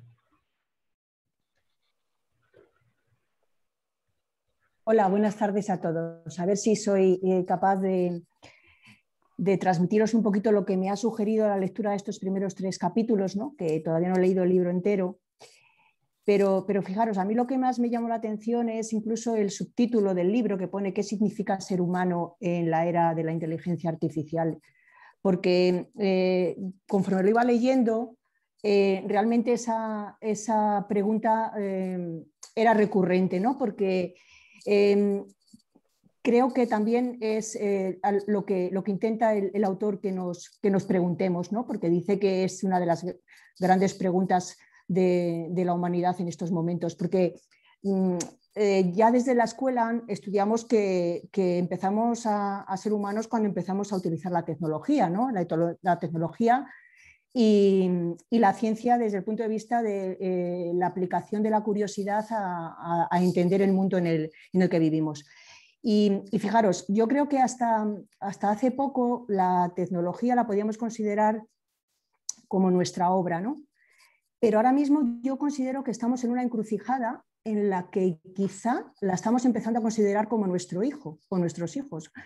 Y, quizá es, un, es una, una diferencia de matiz que sí que nos tenemos que plantear como, como humanidad. Eh, mm, nosotros creo que, venimos de, la naturaleza, somos seres de la naturaleza, pero al mismo tiempo somos seres con capacidad de crear. ¿no?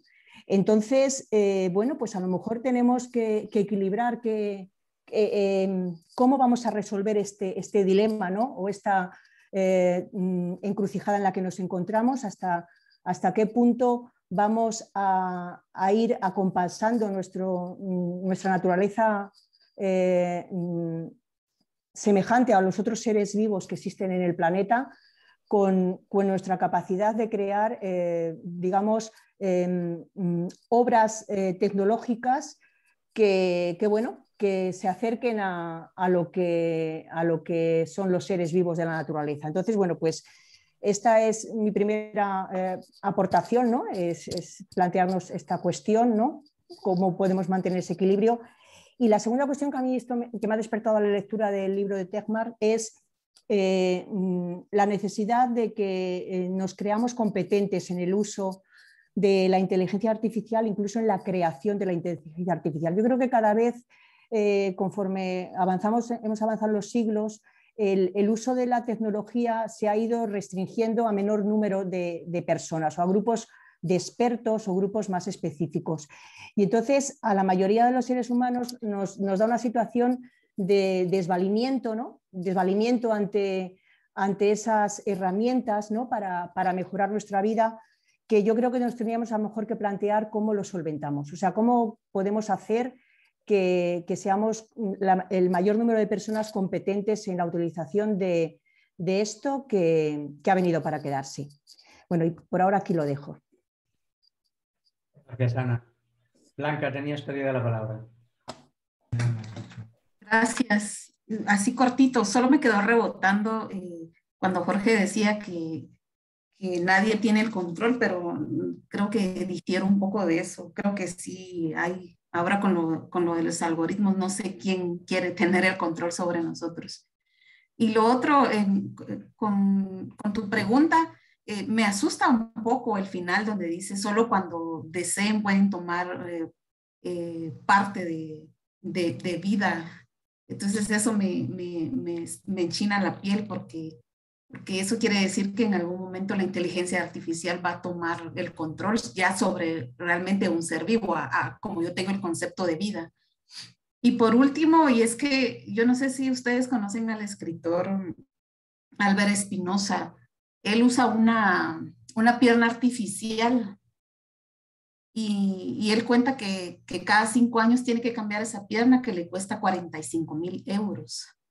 Entonces, eh, pienso que, que, sí, que los avances tecnológicos, la inteligencia artificial para, para ayudar al ser humano, creo que, creo que sería el ideal, pero eh, cuando pienso en esas cantidades de dinero, la verdad es que es bastante, o, o, más bien poco accesible, como, como lo comentaba Ana en un inicio, de, de, de, ese uso con esa finalidad para, para el bien de la humanidad.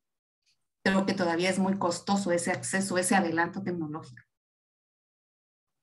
Gracias, Blanca. Uno de los temas que trataremos también es, si, habrá recursos suficientes.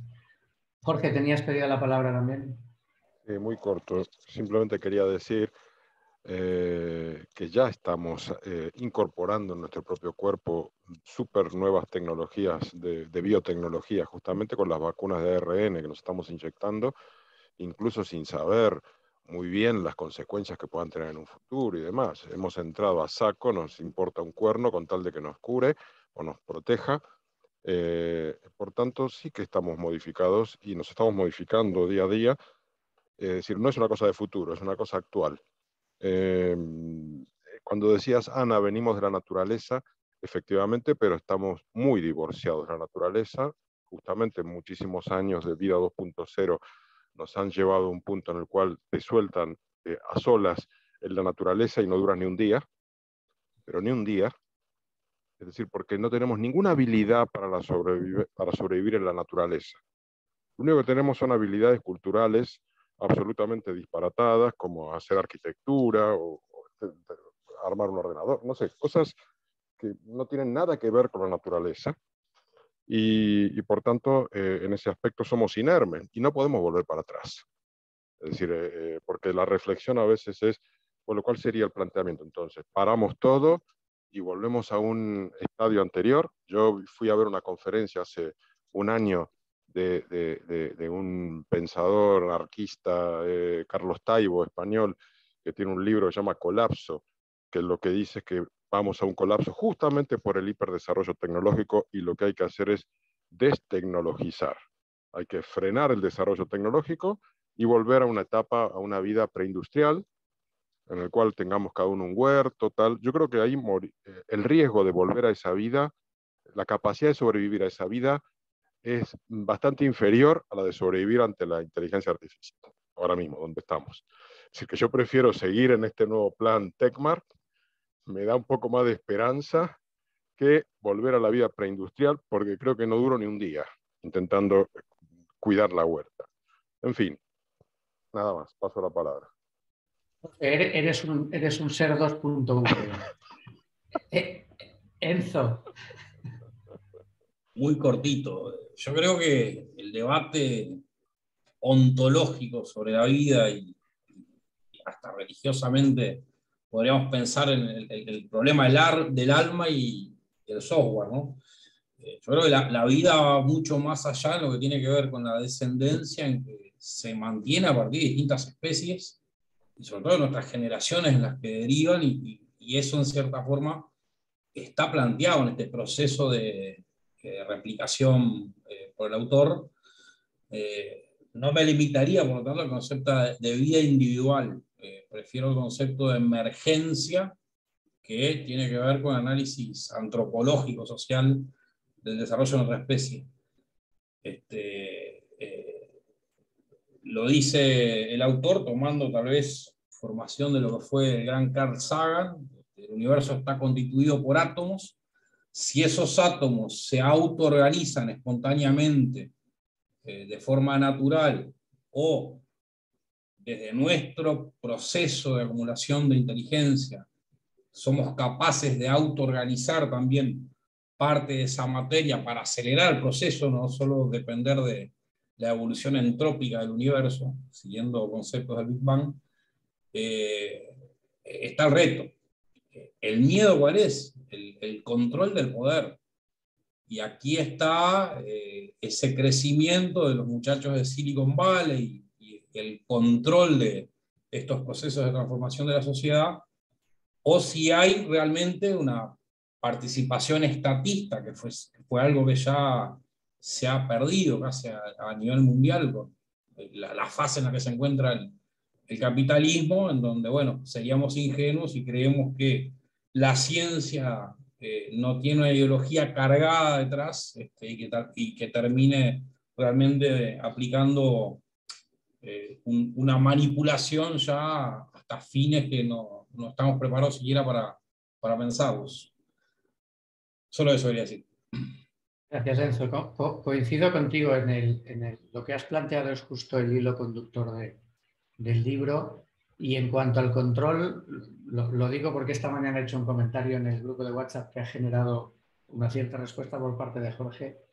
Eh, no podemos, eh, ya no funciona hoy, pero, pero nuestros mecanismos de control de la sociedad aquí seguro que ya no funcionarán. Ya no funcionan hoy, pero con esto no funcionarán seguro.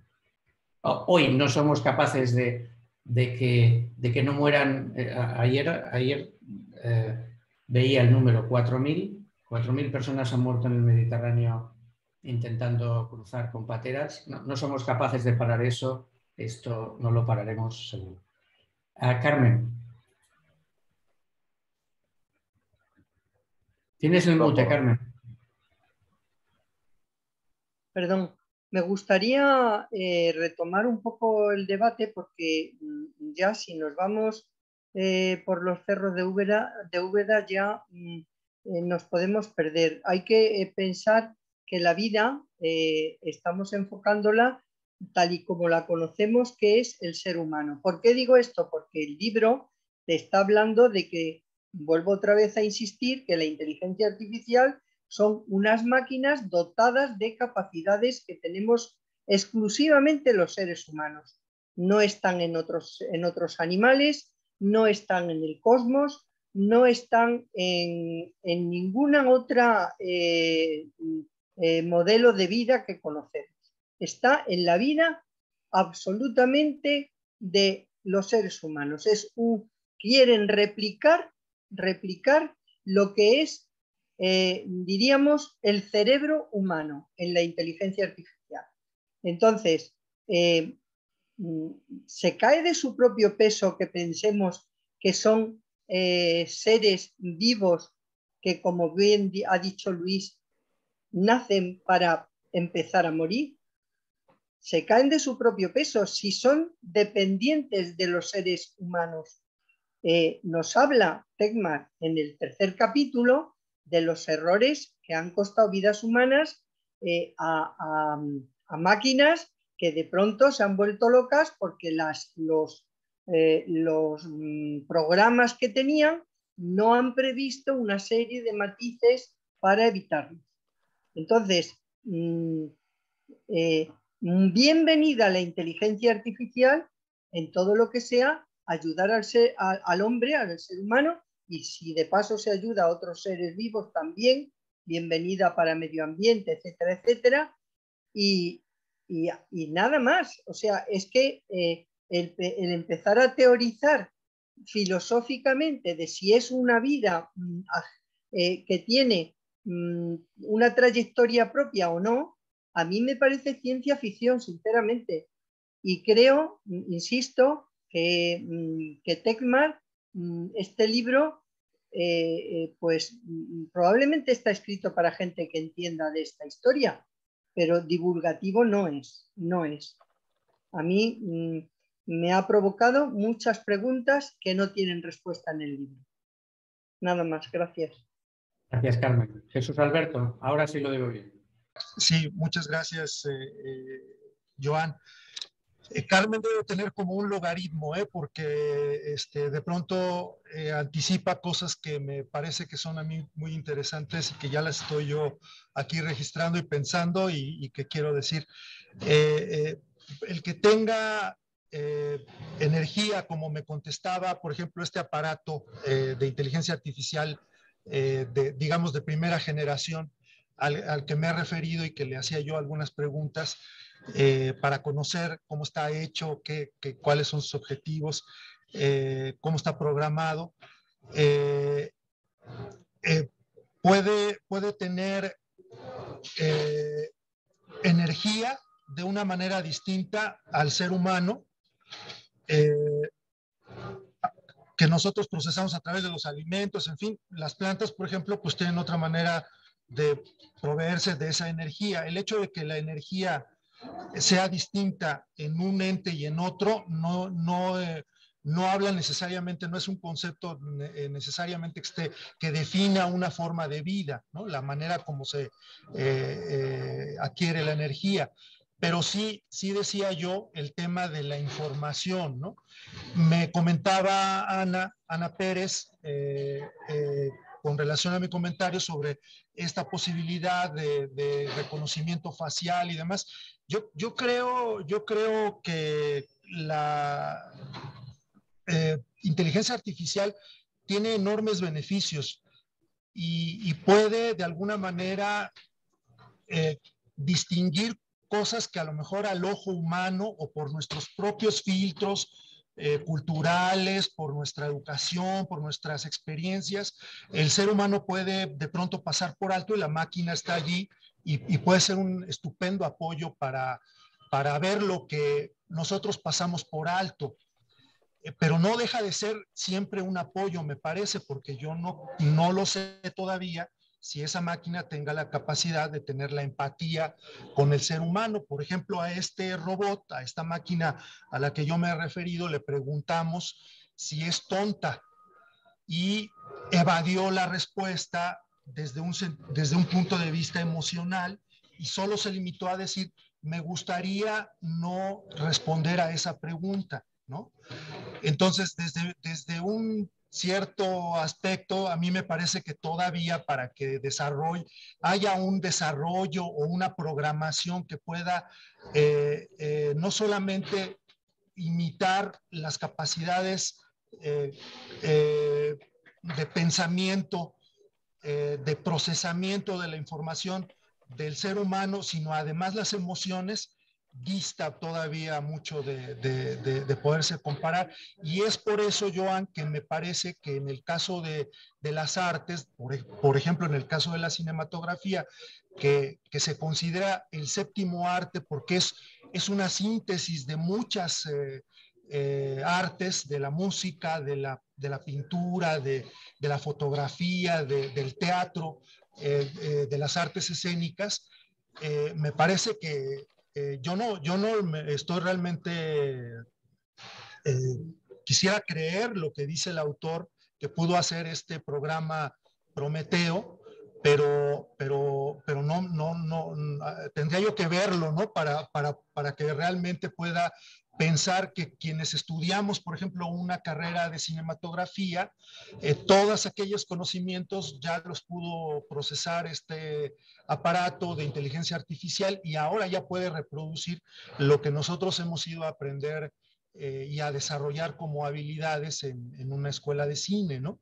Entonces, ahí es donde a, lo que yo trataba de, llegar, Joan, con, mi comentario. A mí me parece que eh, potenciar nuestros conocimientos y, y, que las experiencias de la humanidad puedan estar en estos sistemas expertos eh, y que nos ayuden en la geología, en la química, en el control del tránsito, en, la medicina, en todas esas aplicaciones en las que están, es bienvenido. Yo me sigo sorprendiendo y sigo estando eh, muy contento de que existan, pero sí creo, como decía Enzo, y como decía Luis Miguel, que mucho del tema eh, ahora es filosófico, ¿no? O sea, si efectivamente eh, hay ya una rebeldía en las redes sociales porque esta, esta posibilidad de trabajar en red eh, rompe con los esquemas jerárquicos que prevalecían todavía hace unas décadas, pues yo creo que eso habría que también potenciarlo desde una visión democrática, desde una, desde una visión eh, ciudadana y dotar a estas herramientas de también de esas otras experiencias que, que, no sé si estén siendo consideradas en este momento. Gracias, señor Alberto. Pues por, recuérdame cuando hablemos de alfa que volvamos a, esta, a esta, discusión. Eh, seguimos. A, partir de ahí, Max Tegmark define lo que es vida, define los distintos tipos de vida, cómo él ve esa evolución con respecto al hardware y el software, y dice, bueno, y todo eso ¿Cómo, ¿Cómo, lo ve la comunidad científica y empresarial a día de hoy? Y define que hay básicamente cuatro, cuatro posicionamientos. Los tecnoescépticos, que dicen que de esto nada. Cuidado, ¿eh? uno de los, de los tecnoescépticos eh, importantes es Andrew, no sé cómo se pronuncia, Andrew Ng, eh, que está en Stanford y que, y que fue director eh, tecnológico de Baidu eh, Google los luditas que simplemente creen que, que, sí, que ocurrirá y que es negativo y que por tanto pues, pongámonos a llorar. Luego están los utópicos digitales.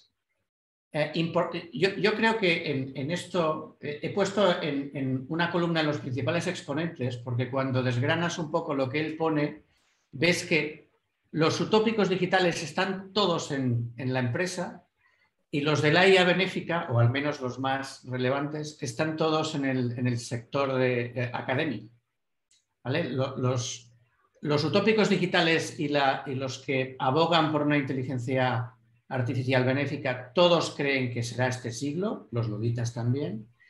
Uh, el impacto, los utópicos digitales, como creen que será positivo, que es natural y que es deseable, pues nada, pues no hay que hacer nada. Y luego hay un movimiento donde está, donde está Max Terman, donde está Stuart Russell de, Berkeley. Stuart Russell es el, que ha escrito uh, un tocho así de inteligencia artificial que se, que se, utiliza en todas las universidades. Nick Bostrom, uh, que tiene un libro que se llama Superinteligencia, que también os recomiendo, que está en Oxford. Defienden que ocurrirá, pero que no está claro que sea bueno. Que puede ser bueno, puede ser malo. Y como no está claro que, que sea bueno, hay que ponerse a trabajar para que sea bueno.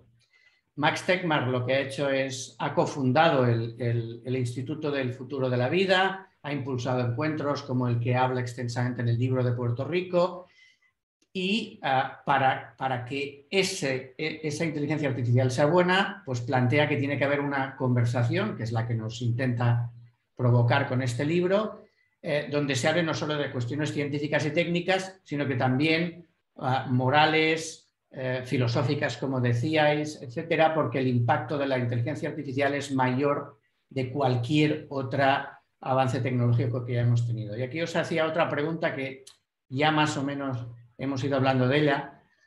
Eh, y os pregunto, ¿tiene sentido el esquema planteado por los defensores de la inteligencia artificial benéfica si al final lo que se pretende es poner límites a una inteligencia muy superior a la humana?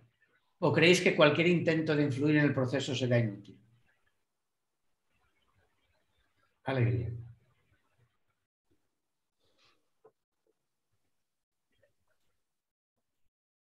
Jorge. Y luego Julio. Yo creo que cual, cualquier intento será inútil. Eh, estoy contigo. Julio, apórtanos, apórtanos algo más de optimismo. No mucho, no mucho, Joan. el, el, tema no, no, es como para tirar cohetes. Eh, eh, la verdad es que hasta las... Bueno, evidentemente la, la, la inteligencia artificial eh, la tenemos ya encima. Ahí doy la razón a lo que decía Jorge y lo que habéis dicho muchos de vosotros. Está aquí ya. Y está aquí en algunos aspectos que son muy positivos. Eh, luego, más adelante, el autor plantea, no sé cómo sería el mundo, por ejemplo, judicial el tema de las leyes y la aplicación y la...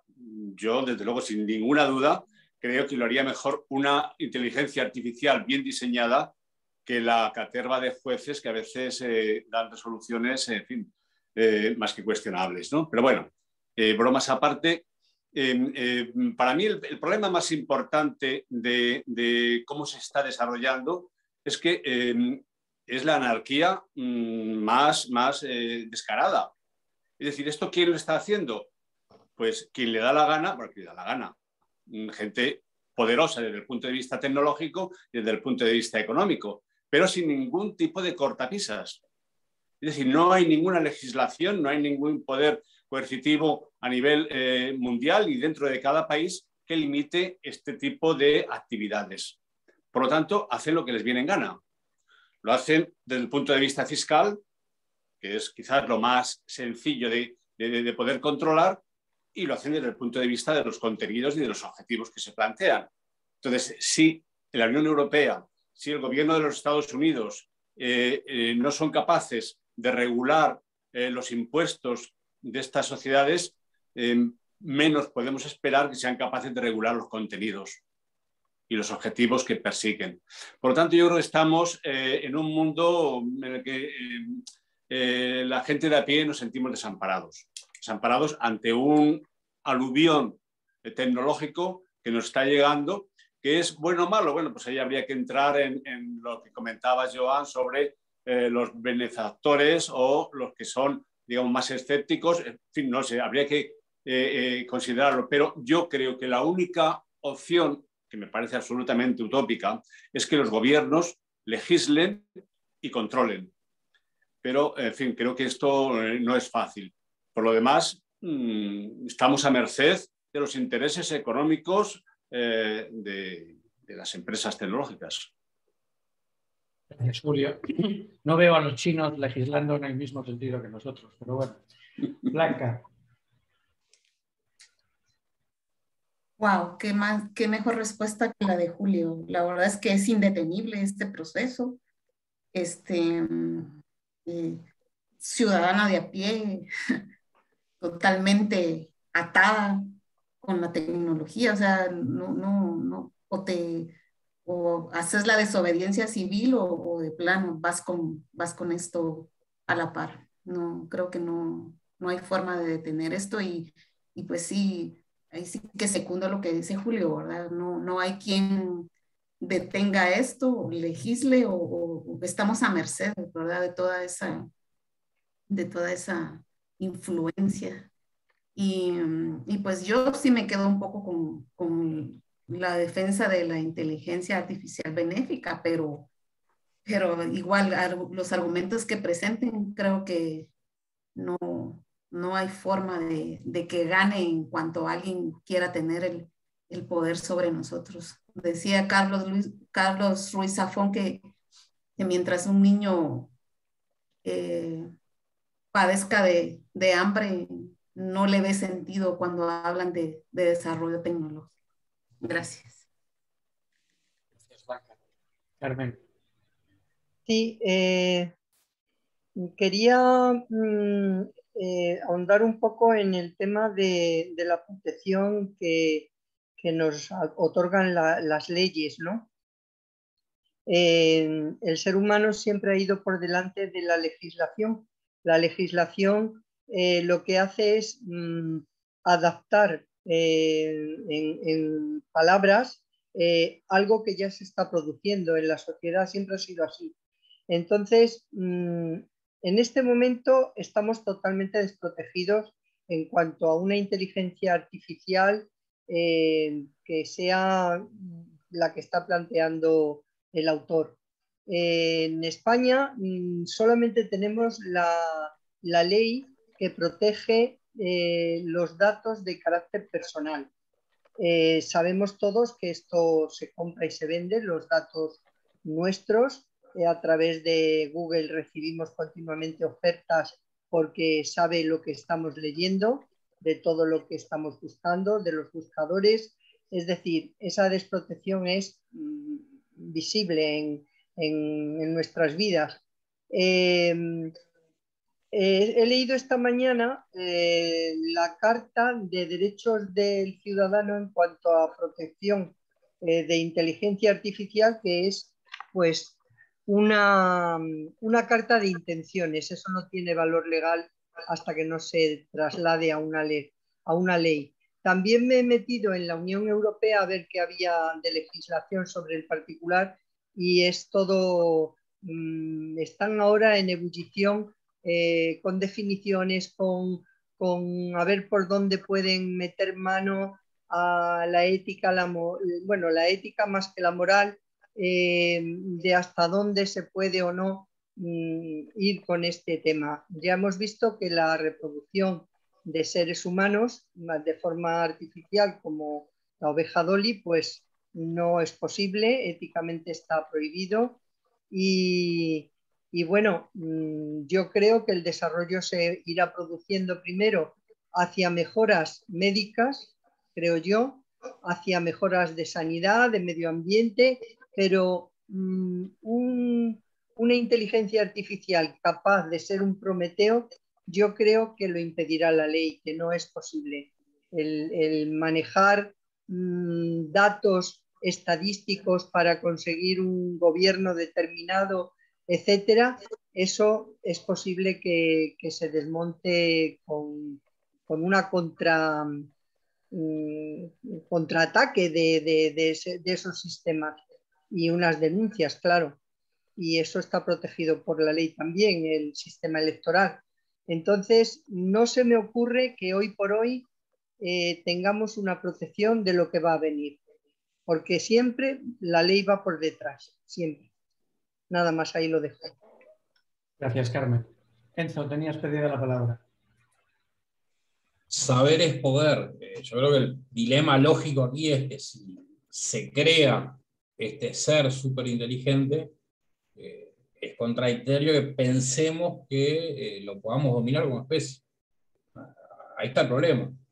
volviendo al, al, prólogo, tendría la capacidad de manipular de tal manera para que se desarrolle en cuanto lo defina este ser súper inteligente, hacia dónde vamos como humanidad. Este, en, esta, en este debate o pugna entre volver a ser o constituirnos como seres silvestres, y vaya, si muchos de los que estamos aquí no añoramos eh, una vida con la naturaleza, eh, manteniendo este, desconexión digital, como por ahí se trabaja en, algunas bibliografías, eh, el tema es que convivimos y estamos viviendo en función de, de este desarrollo y es muy difícil salirse del juego. Este, ese dilema entre optimismo y pesimismo nos lleva a que añoremos eh, parte de la vida en la desconexión digital, pero eh, estamos transitando y sobrevivimos y una de las capacidades que la humanidad ha tenido para eh, existir o mantener su supervivencia es el de la adaptación. Y la adaptación sin este tipo de artefacto de inteligencia se nos hace prácticamente imposible. Hay algunas cuestiones, para no ser tan determinista desde el punto de vista filosófico, compartí recién en el grupo algo que se llama elementos en peligro de extinción, es hasta dónde con los recursos finitos que hay se puede garantizar potencialmente este, el desarrollo de por dónde va hoy este, la creación de estos artefactos. Gracias, Enzo. Ana. A ver, lo de controlar a alguien que es más listo que nosotros, pues a lo mejor llega un momento que están listos, nosotros dominamos porque hemos sido más listos que otras cosas, ¿no? Entonces, puestos ya la, la idea de algo más listo lo puedes controlar, ¿no? Acabaría controlándonos a nosotros probablemente, ¿no? Pero yo lo que creo es un poco, al final, es, bueno, si estamos creando esta inteligencia artificial, ¿no? Pues sienta las bases. Es verdad, Carmen, lo que se ha hecho ahora es una carta, es como un documento marco, como referencia para todo va a venir, porque es que no sabe nadie lo que va a venir. Entonces, como mínimo, es como las leyes de la robótica de Asimov. Sabéis que Asimov hablaba de las tres reglas básicas de los robots, ¿no? Que, no hará daño al ser humano, que cumplirá las órdenes del ser humano y que debe protegerse a sí mismo siempre y cuando no vulnere la 1 y 2. Pues a lo mejor en el caso de la inteligencia artificial hay que hacer un poco lo mismo, ¿no? Sentarle esas bases para que si llega algún momento a mandar, que no nos fastidie el tema, ¿no? Porque mm, puesto como que sea una súper interés, bueno, esta, esta historia, ¿no? Que nos explica. Entonces, pues es eso, ¿no? El, sentar las bases para, para garantizar un modelo que además, ostras, pues ya puestos a definir un modelo que desde mi punto de vista tiene que ser global, porque es que esto se cuela por todos lados desde cualquier sitio, yo ya me puedo hacer mi campo con mi cerca aquí en Europa, que es que no, que los servidores están en la conchimbamba. Entonces, hay que hacer una, no sé de qué modo, algo global y ostras, si ya se puede aprovechar y buscar un modelo más sostenible, un modelo, porque hay mucha basura también informática, hay mucha cosa innecesaria que consume recursos, que genera CO2. Eh, eh, ahora está muy enfocada la parte económica, yo creo que, pero también es verdad que toda la ciencia, hemos llegado a las vacunas que hemos llegado porque tú, como decía Jorge, la gente que trabaja en este tipo de temas, los que hacen investigación médica, se pasan la mitad del tiempo programando y viendo resultados, o sea, avanza mucho porque pueden obtener resultados a mayor velocidad, ¿no? Entonces, volviendo a la pregunta, yo creo que si llega a ser tan inteligente, yo creo que igual nos acaba controlando, pero vamos a intentar que este que nos controle tenga unas bases, no digo ni de ética ni de moral, porque al final esto depende un poco a barrios. La ética y la moral, pues depende de, de quién te hable, cada uno tiene sus parámetros éticos y sus parámetros globales, pero si algo consensuado y yo creo que tiene, que ser global, porque esto no le, no le puedes poner verjas al campo en este ámbito. Gracias, Ana. Nos quedan diez minutos eh, y acabemos solo el primer capítulo. Habrá sido un éxito. Um, uh, en, en, la última parte de este primer capítulo, uh, Max Tegmark lo que hace es da una serie de ideas erróneas o, aclara ideas erróneas, nos da algunas definiciones eh, y, luego nos, nos quita miedo sobre los riesgos de la inteligencia artificial. Más que nos quita miedo, nos dice que todos se reducen a uno. Veamos las dos partes y, lanzo la pregunta. Ah, la definición de vida ya la hemos visto, pero yo creo que tan, tan eh, tan controvertida como la, de la vida, que nos ha llevado dos horas, es la definición de inteligencia que hace. Es inteligencia, capacidad de alcanzar objetivos complejos. Y luego la conciencia es la experiencia subjetiva. Y para él, en lo que a este libro concierne, son dos cosas distintas. ¿vale? Y luego tienes un comportamiento orientado a objetivos, que es un comportamiento que se explica más fácilmente a través de su efecto que de su causa, y luego el bloque de lo que nos contará en la segunda parte del libro. Inteligencia artificial general quiere decir una capacidad para realizar cualquier tarea cognitiva, al menos también como los humanos. Superinteligencia, lo mismo, pero mejor que los humanos. Y explosión de inteligencia, el punto donde pasamos de una a la otra. El punto donde pasamos de que lo hace también como los humanos a que lo hace mucho mejor que los humanos. Y este punto es el, eh, eh, esa singularidad. ¿vale? Ah, luego nos dice, oye, ah, hay gente que tiene miedo a la inteligencia artificial por si es consciente, por si, por si tiene maldad, porque ¿qué nos harán los robots o nos controlarán? ¿vale? Y al final, ah, en, en el control dice exactamente lo que ha dicho Ana, es más inteligente, olvidaros, nos controlarán seguro, los cromañones podían haber escrito una carta diciendo que los neandertales no harían nada contra los cromañones, pero los neandertales seguro que se los comían con patatas. Y en cuanto a conciencia, maldad y robots, lo que dice Max Tegmar es, eh, da lo mismo si la inteligencia artificial es mala o buena, o tiene conciencia o no. Lo importante es que como la inteligencia es la capacidad de alcanzar objetivos complejos, de lo que nos tenemos que preocupar es de que esos objetivos estén alineados con los nuestros. ¿vale? Si los objetivos de los neandertales son matar mamuts y darme la carne a mí, que soy un cromañón, bienvenidos los neandertales. y, en, esa, en, esa, pregunta, la última pregunta que os planteo hoy es, en esa definición, dos cosas. En la definición de vida que hemos visto, un virus informático que es capaz de preservar su complejidad y de replicarse, estaría vida, estaría vivo. Y luego la de verdad. ¿Estamos de acuerdo en esa, en esa visión en cuanto a la inteligencia? Porque yo creo que de la primera parte ya hemos hablado mucho. De separar inteligencia y conciencia. Porque para él es importante en el libro, ¿eh? porque dedica todo el libro a la inteligencia y un capítulo a la conciencia, porque cree que es algo distinto.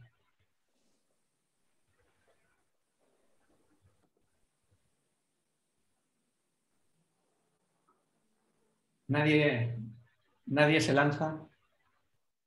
Ah, Enzo y luego Jorge. Ay, Je- Dios mío, Jesús Alberto y luego Jorge. Y Ana. No, Yo no me olvidé de bajar la mano, perdón. Estoy mu- mutis. Los escucho. brevísimo diría eh, que estoy de acuerdo en la, esta de- distinción entre conciencia e inteligencia. Eh, pensando, por ejemplo, en este aparato del que he hablado, que, que me pareció toda una innovación, eh, estoy fascinado con él. eh, eh, quiero regresar a hacerle muchas preguntas todo el día, pero sé que eso no es posible. Eh, eh, por lo menos eh, en este momento. Eh, por ejemplo, sí, eh, haciendo algunas preguntas que, que los, que los que hacen encuestas, los que hacen test, le llaman de control, eh, preguntándole eh, cuál es tu estado civil y preguntándole después nuevamente, eh, ¿eres soltero o eres casado? Ya específicamente, eh, manifiesta eh, respuestas distintas. ¿no? Eh, eh, no, no sabe qué decir ante la pregunta del estado civil y en cambio sí dice que es soltero. Eh, o dice, por ejemplo, que tiene siete años de, vida, pero comparado con la vida de un animal, eh, puede tener más edad y comparado con eh, lo que se mide la nanotecnología actualmente, pues es este, mayor que, cualquier eh, ser humano en edad. ¿no? Entonces, sí, sí creo que depende, esto, estas respuestas que manifiesta este ente de inteligencia artificial que yo le llamo arbitrariamente de primera generación eh, comercial, porque pues no sé, no sé quién lo diseñó ni, ni, ni quién lo programó, entiendo yo, esto me hace pensar a mí que todo depende de la programación que tiene. Para poder emitir determinadas respuestas y del repertorio verbal con el que cuenta para poder expresar algunas eh, ideas que a, a lo mejor a nosotros nos pueden parecer este, lugares comunes, ¿no?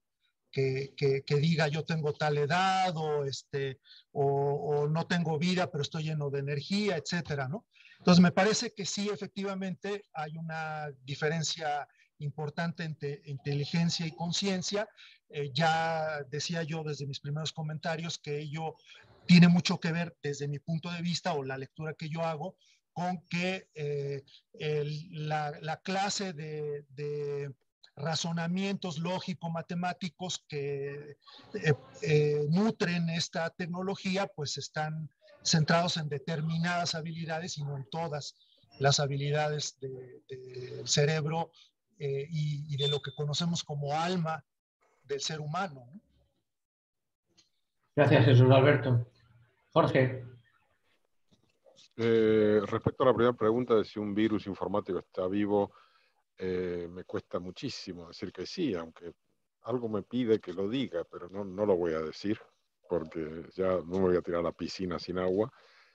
Eh, si me baso en la definición de Tecmar, eh, sistema complejo capaz, capaz de replicarse y perdurar, pues podría serlo, ¿no? Ahora, no veo en el virus una capacidad como de adaptación. Creo que es una especie de replicación un poco como, casi como tumoral, ¿no? Es como unas copias de sí mismo, pero que no hasta dónde llegan. Bueno, yo, creo que en la definición de vida habría que añadir un punto como de, de cierta evolución. Es lo que yo le he hecho de falta a la definición de vida de Tecmar. Pareciera como que estás congelado, es decir, simplemente como poder replicarte y perdurar, ya está. Mm, No hay cambio, ¿no? Es como una cosa eh, de replicación estable. Entonces, desde ese punto de vista no me convence el virus como vida. Ahora, lo de separar inteligencia y conciencia, sí. Eh, de hecho, cuando leímos a Mariano Sigman, eh, La vida secreta de la mente, eh, a mí lo que me quedó claro es que el cerebro, el cerebro humano ya tiene un funcionamiento independiente de nuestra conciencia, hay un montón de decisiones que tomamos sin necesidad de ser conscientes de ella, y esa, es el cerebro más antiguo, y la conciencia es un desarrollo a posteriori que, viene a ser una especie de relator, de comentarista, de, eh, eh, que, no es necesario. gracias, Jorge. Eh, respecto a tu primer punto, por, por eso he puesto en la, en la tabla inicial durante 4.000 millones de años, la vida se ha quedado en la vida 1.0. 4.000 millones de años. Eh, no- nos da que pensar. Blanca. Gracias, así cortísimo. Yo lo que podría responder y hasta donde logro comprender, eh, creo que sí podemos hacer esa separación, pero creo que alguien con, con inteligencia eh, podría darle vida al virus eh, contaminando. No creo que el virus pueda tener vida en sí, este, pero tal vez alguien inteligente y consciente eh, sabría que un virus es, eh, es dañino. Es lo que logro dilucidar en cuanto a la pregunta. Si, si un virus biológico creemos que está vivo, y, y no sé si la respuesta es sí o no, me, me cuesta diferenciar los dos virus. Carmen. Yo creo que no deberíamos agobiarnos porque en todo caso siempre tienes la posibilidad de apagar y volver a encender. Eh, entonces, eh, mm, esto el problema que hay es que eh, puede ser, que luego ya entrarás en materia, que se utilice mal, que se utilice mal por el ser humano y que ese apagar y vuelva a encender pues esté en manos de, personas incompetentes que, nos puedan mandar al otro barrio. Nada más. Perfecto, gracias Carmen. Bueno, yo creo que lo dejamos, lo dejamos aquí eh, simplemente para, para- para ver que no estamos tan mal. Eh, eh, del segundo capítulo planteo o plantearemos en la próxima sesión de todo el capítulo una sola pregunta. Este primer capítulo había mucha tela que cortar, porque básicamente en el segundo capítulo, que es el que veremos, es en el que Max Tegmark intenta demostrar que la inteligencia artificial superior a la humana es posible desde el punto de vista de las leyes de la física. ¿vale? No entraremos en detalles técnicos demasiado profundos, pero sí su línea principal de razonamiento para acabar diciendo es posible. Perfecto. Pues nada más por mi parte. Jorge, ¿quieres despedir la sesión? Bueno, pues muchísimas gracias. La verdad que me ha encantado esta sesión. Creo que Carmen habías levantado la mano o... No, No, no la he bajado, no, no. perdón. vale, vale, vale. Eh, me, me- me ha encantado. Buenísimo trabajo, Joan. Realmente muchísimas gracias y, y a todos los que habéis participado. Eh, quería decir que la próxima semana arrancamos con nuevo libro también, La vida contada por un sapiens a un neandertal, de Juan José Millás y Juan Luis Alzuaga, este paleontólogo, y Juan José Millás, un periodista. Para los que no sois españoles, quizás no, no suene demasiado, periodista y escritor, aquí tiene bastante renombre, tiene mucha presencia mediática.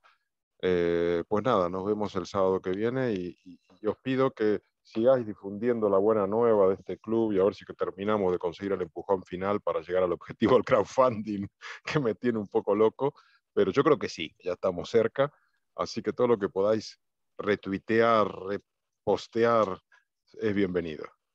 Bueno, muchas gracias y nos vemos el sábado que viene. Luego. Gracias, Joan. Gracias, Joan, gracias. Gracias, gracias, Joan. Gracias, Jorge. Adiós.